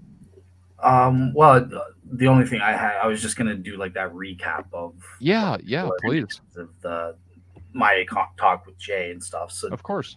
All right, so so yeah, so so what I'm understanding here, so it is interesting because when I approach this question of the canonicity, um, I don't really necessarily care about what Jay said he cared about this normative, kind of like an outsider test. How how do you tell as an outsider? I'm more interested in how do we gain knowledge personally as to what is scripture or not, and the uh, you know that's why I can appeal to properly basic beliefs, and I think that's a valid form of gaining a warranted true belief. Um, however, I think that God can provide us with multiple sources of warrant, uh, some of which may qualify as that outsider test, and that's where I think my uh, mere Protestantism or, or you know the Protestant Bible onlyism is warranted based on the fact of, of an argument, right? So a modus simple modus ponens argument. If the majority of, of true Christians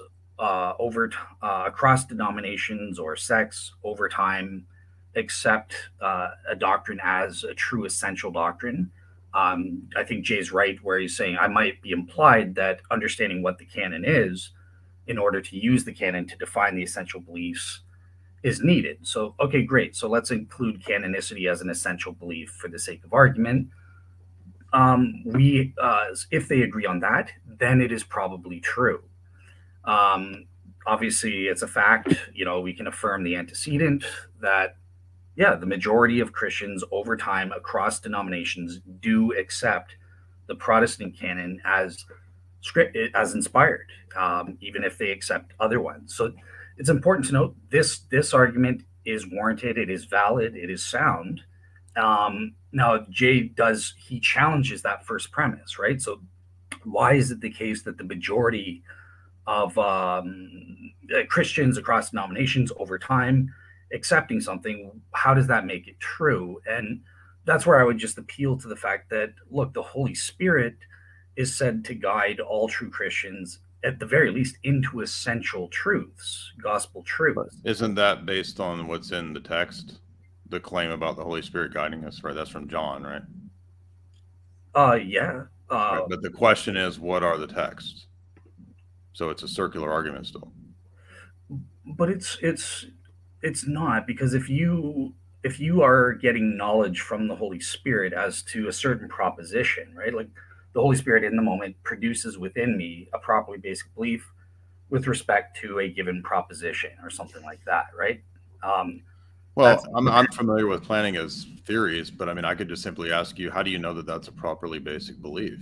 The, the so now canonicity of scripture, which is a historical event, is now something that's a properly basic, self-evident principle.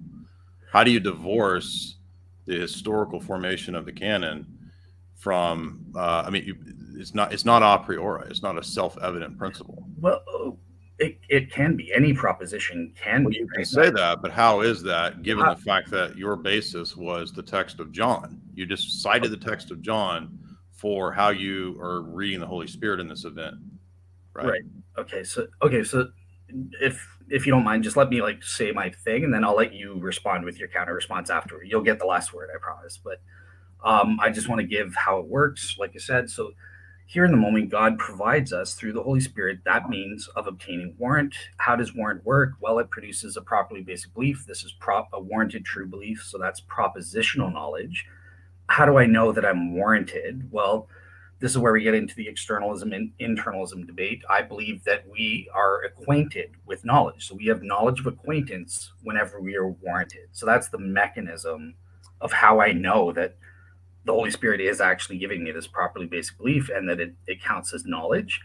Um, okay, so great. So in the here and now, that's that's how I would, I guess, um, appeal to this. I know that it's true that the Holy Spirit has to provide us with most Christians across denominations over time with the true essential beliefs, at least.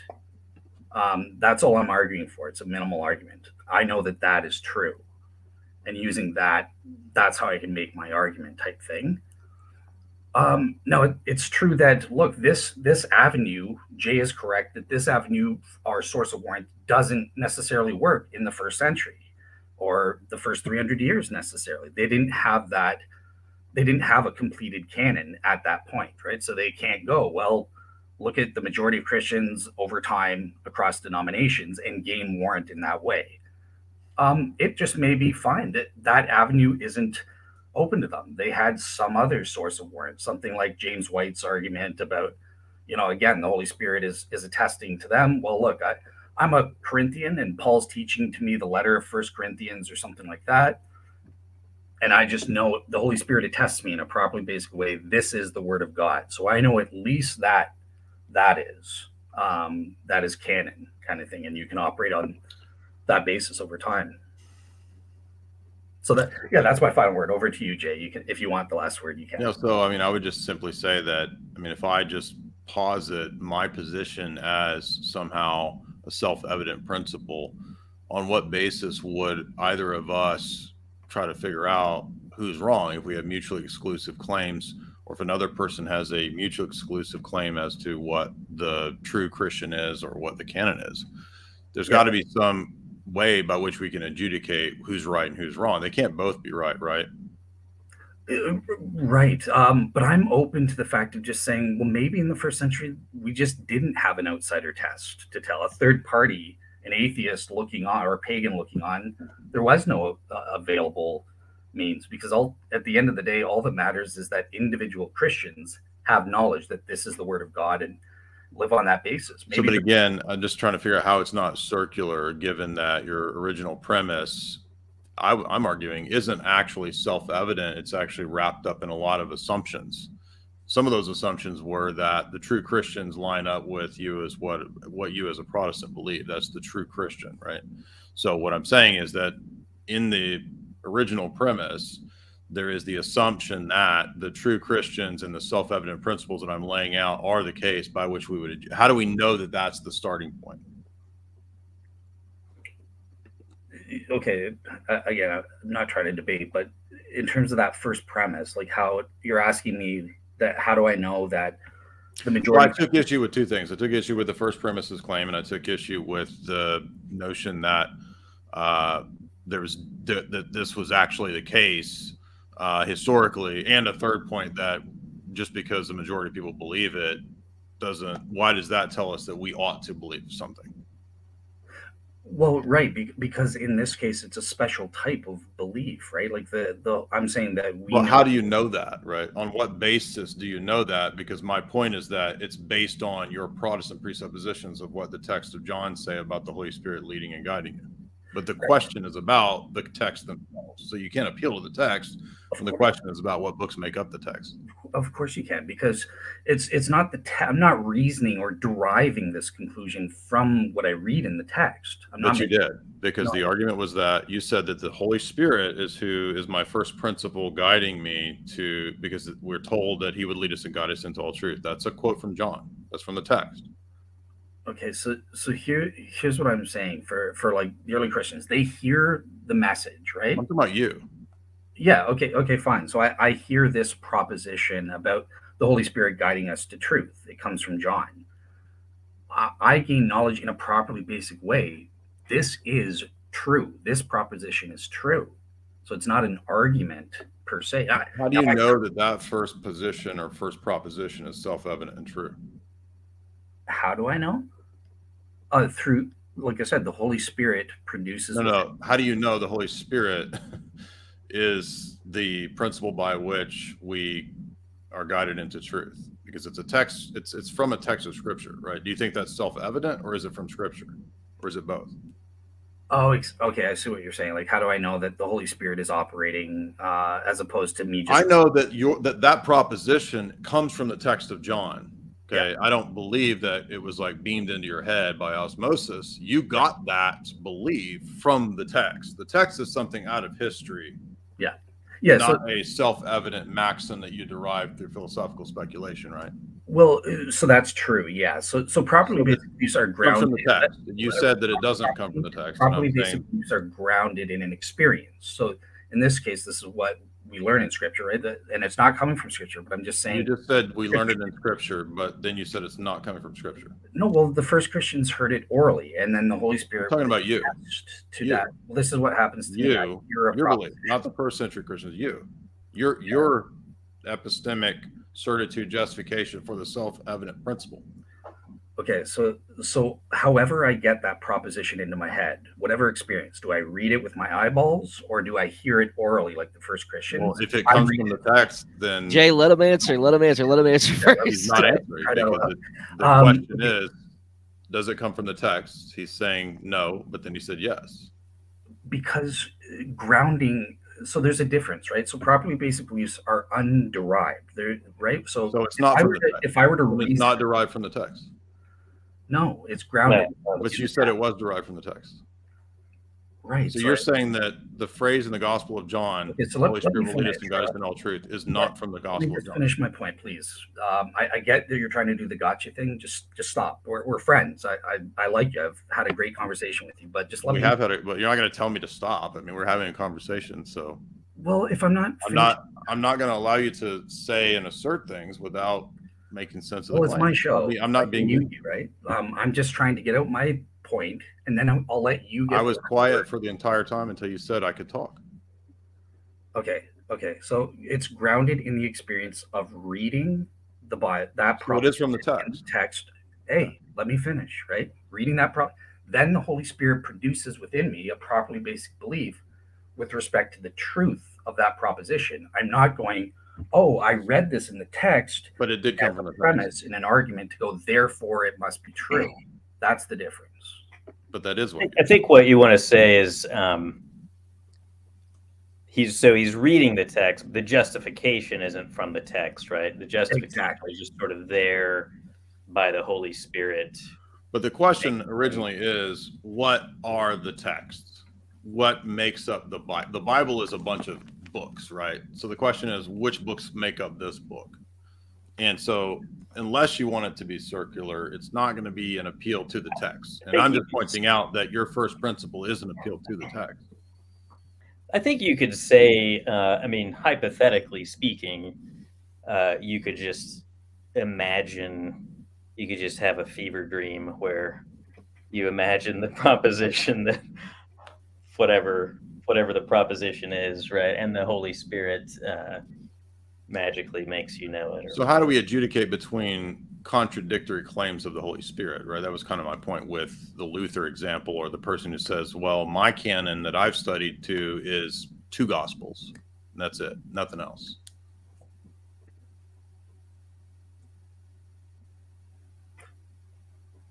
Who's that to? You're Tabo. Sorry, Who is that? Who was that question to? to Dale? Dale. Okay. Uh, well, so like, what was the question again? Because I, again, I think How would we adjudicate between rival claims of the Holy Spirit's guidance when obviously in history, like everybody's going to claim, well, the Holy Spirit's guiding me.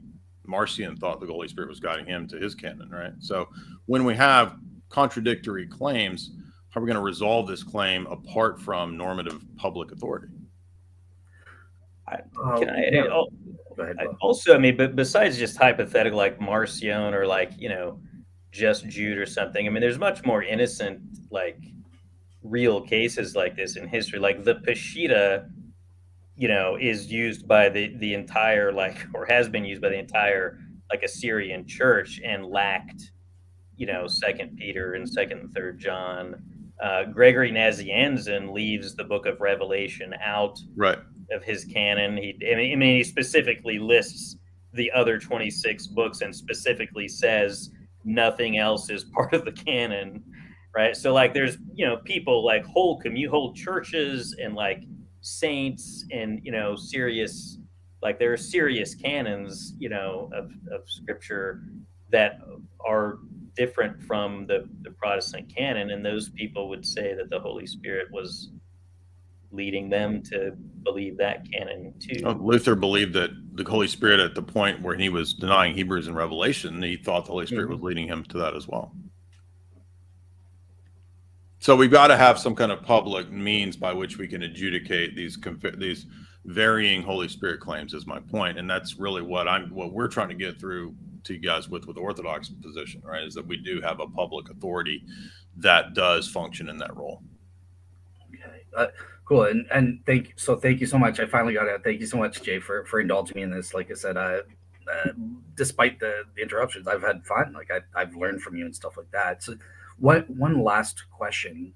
Because my whole thing, what if what if there just was no outsider test, uh, but yet there was the an internal test for Christians to tell between competing claims? Why does there have to be an outsider test at all periods of history?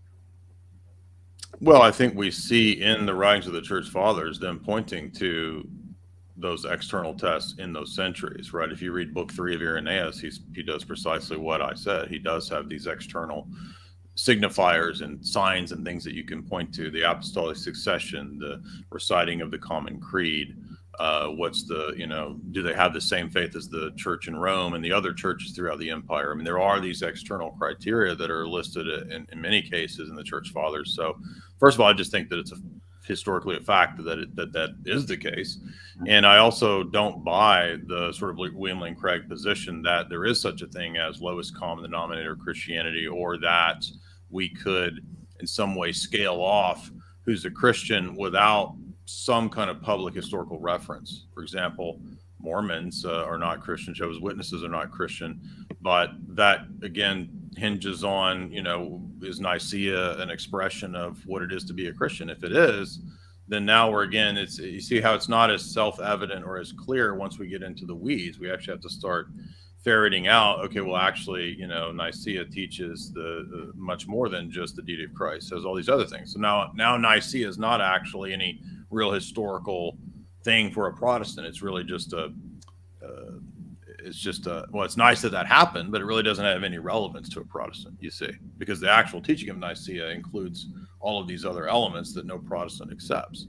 So I'm just saying you can't have a self-evident um, uh, internal positions as a Christian when Christianity is a historic religion with a history of church fathers and people putting the Bible together. There's no such thing as a Bible or canon divorced from history.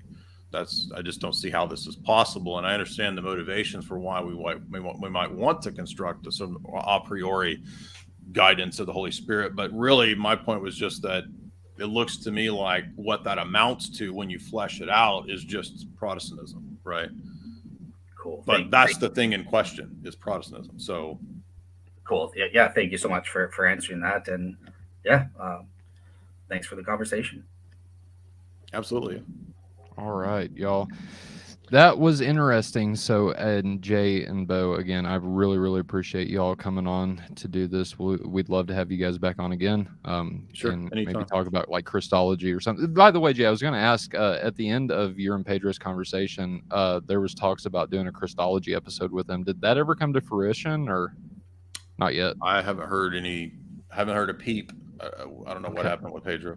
Okay. I, so, I mean, I think I, I, haven't seen him on any more live streams or debates. So, I mean, there wasn't any drama. I just haven't heard from No, him. right. Right. Right. Okay. Right on. If that ever comes about, let me know, man, because I would love to hear you guys talk about that or, you know, uh, come on our show and, and talk about some Christology. Uh, but y'all, that wraps it up for this episode. We will see you next time. We've got uh, one more episode this month, uh, uh, June 30th at 7 p.m. Eastern Time, we're going to be talking the paranormal with one of my Roman Catholic friends, uh, Nicholas Soliner. So stay tuned for that, and we will see you next time. Until then, good night, God bless, and stay like Christ. Thank you, guys.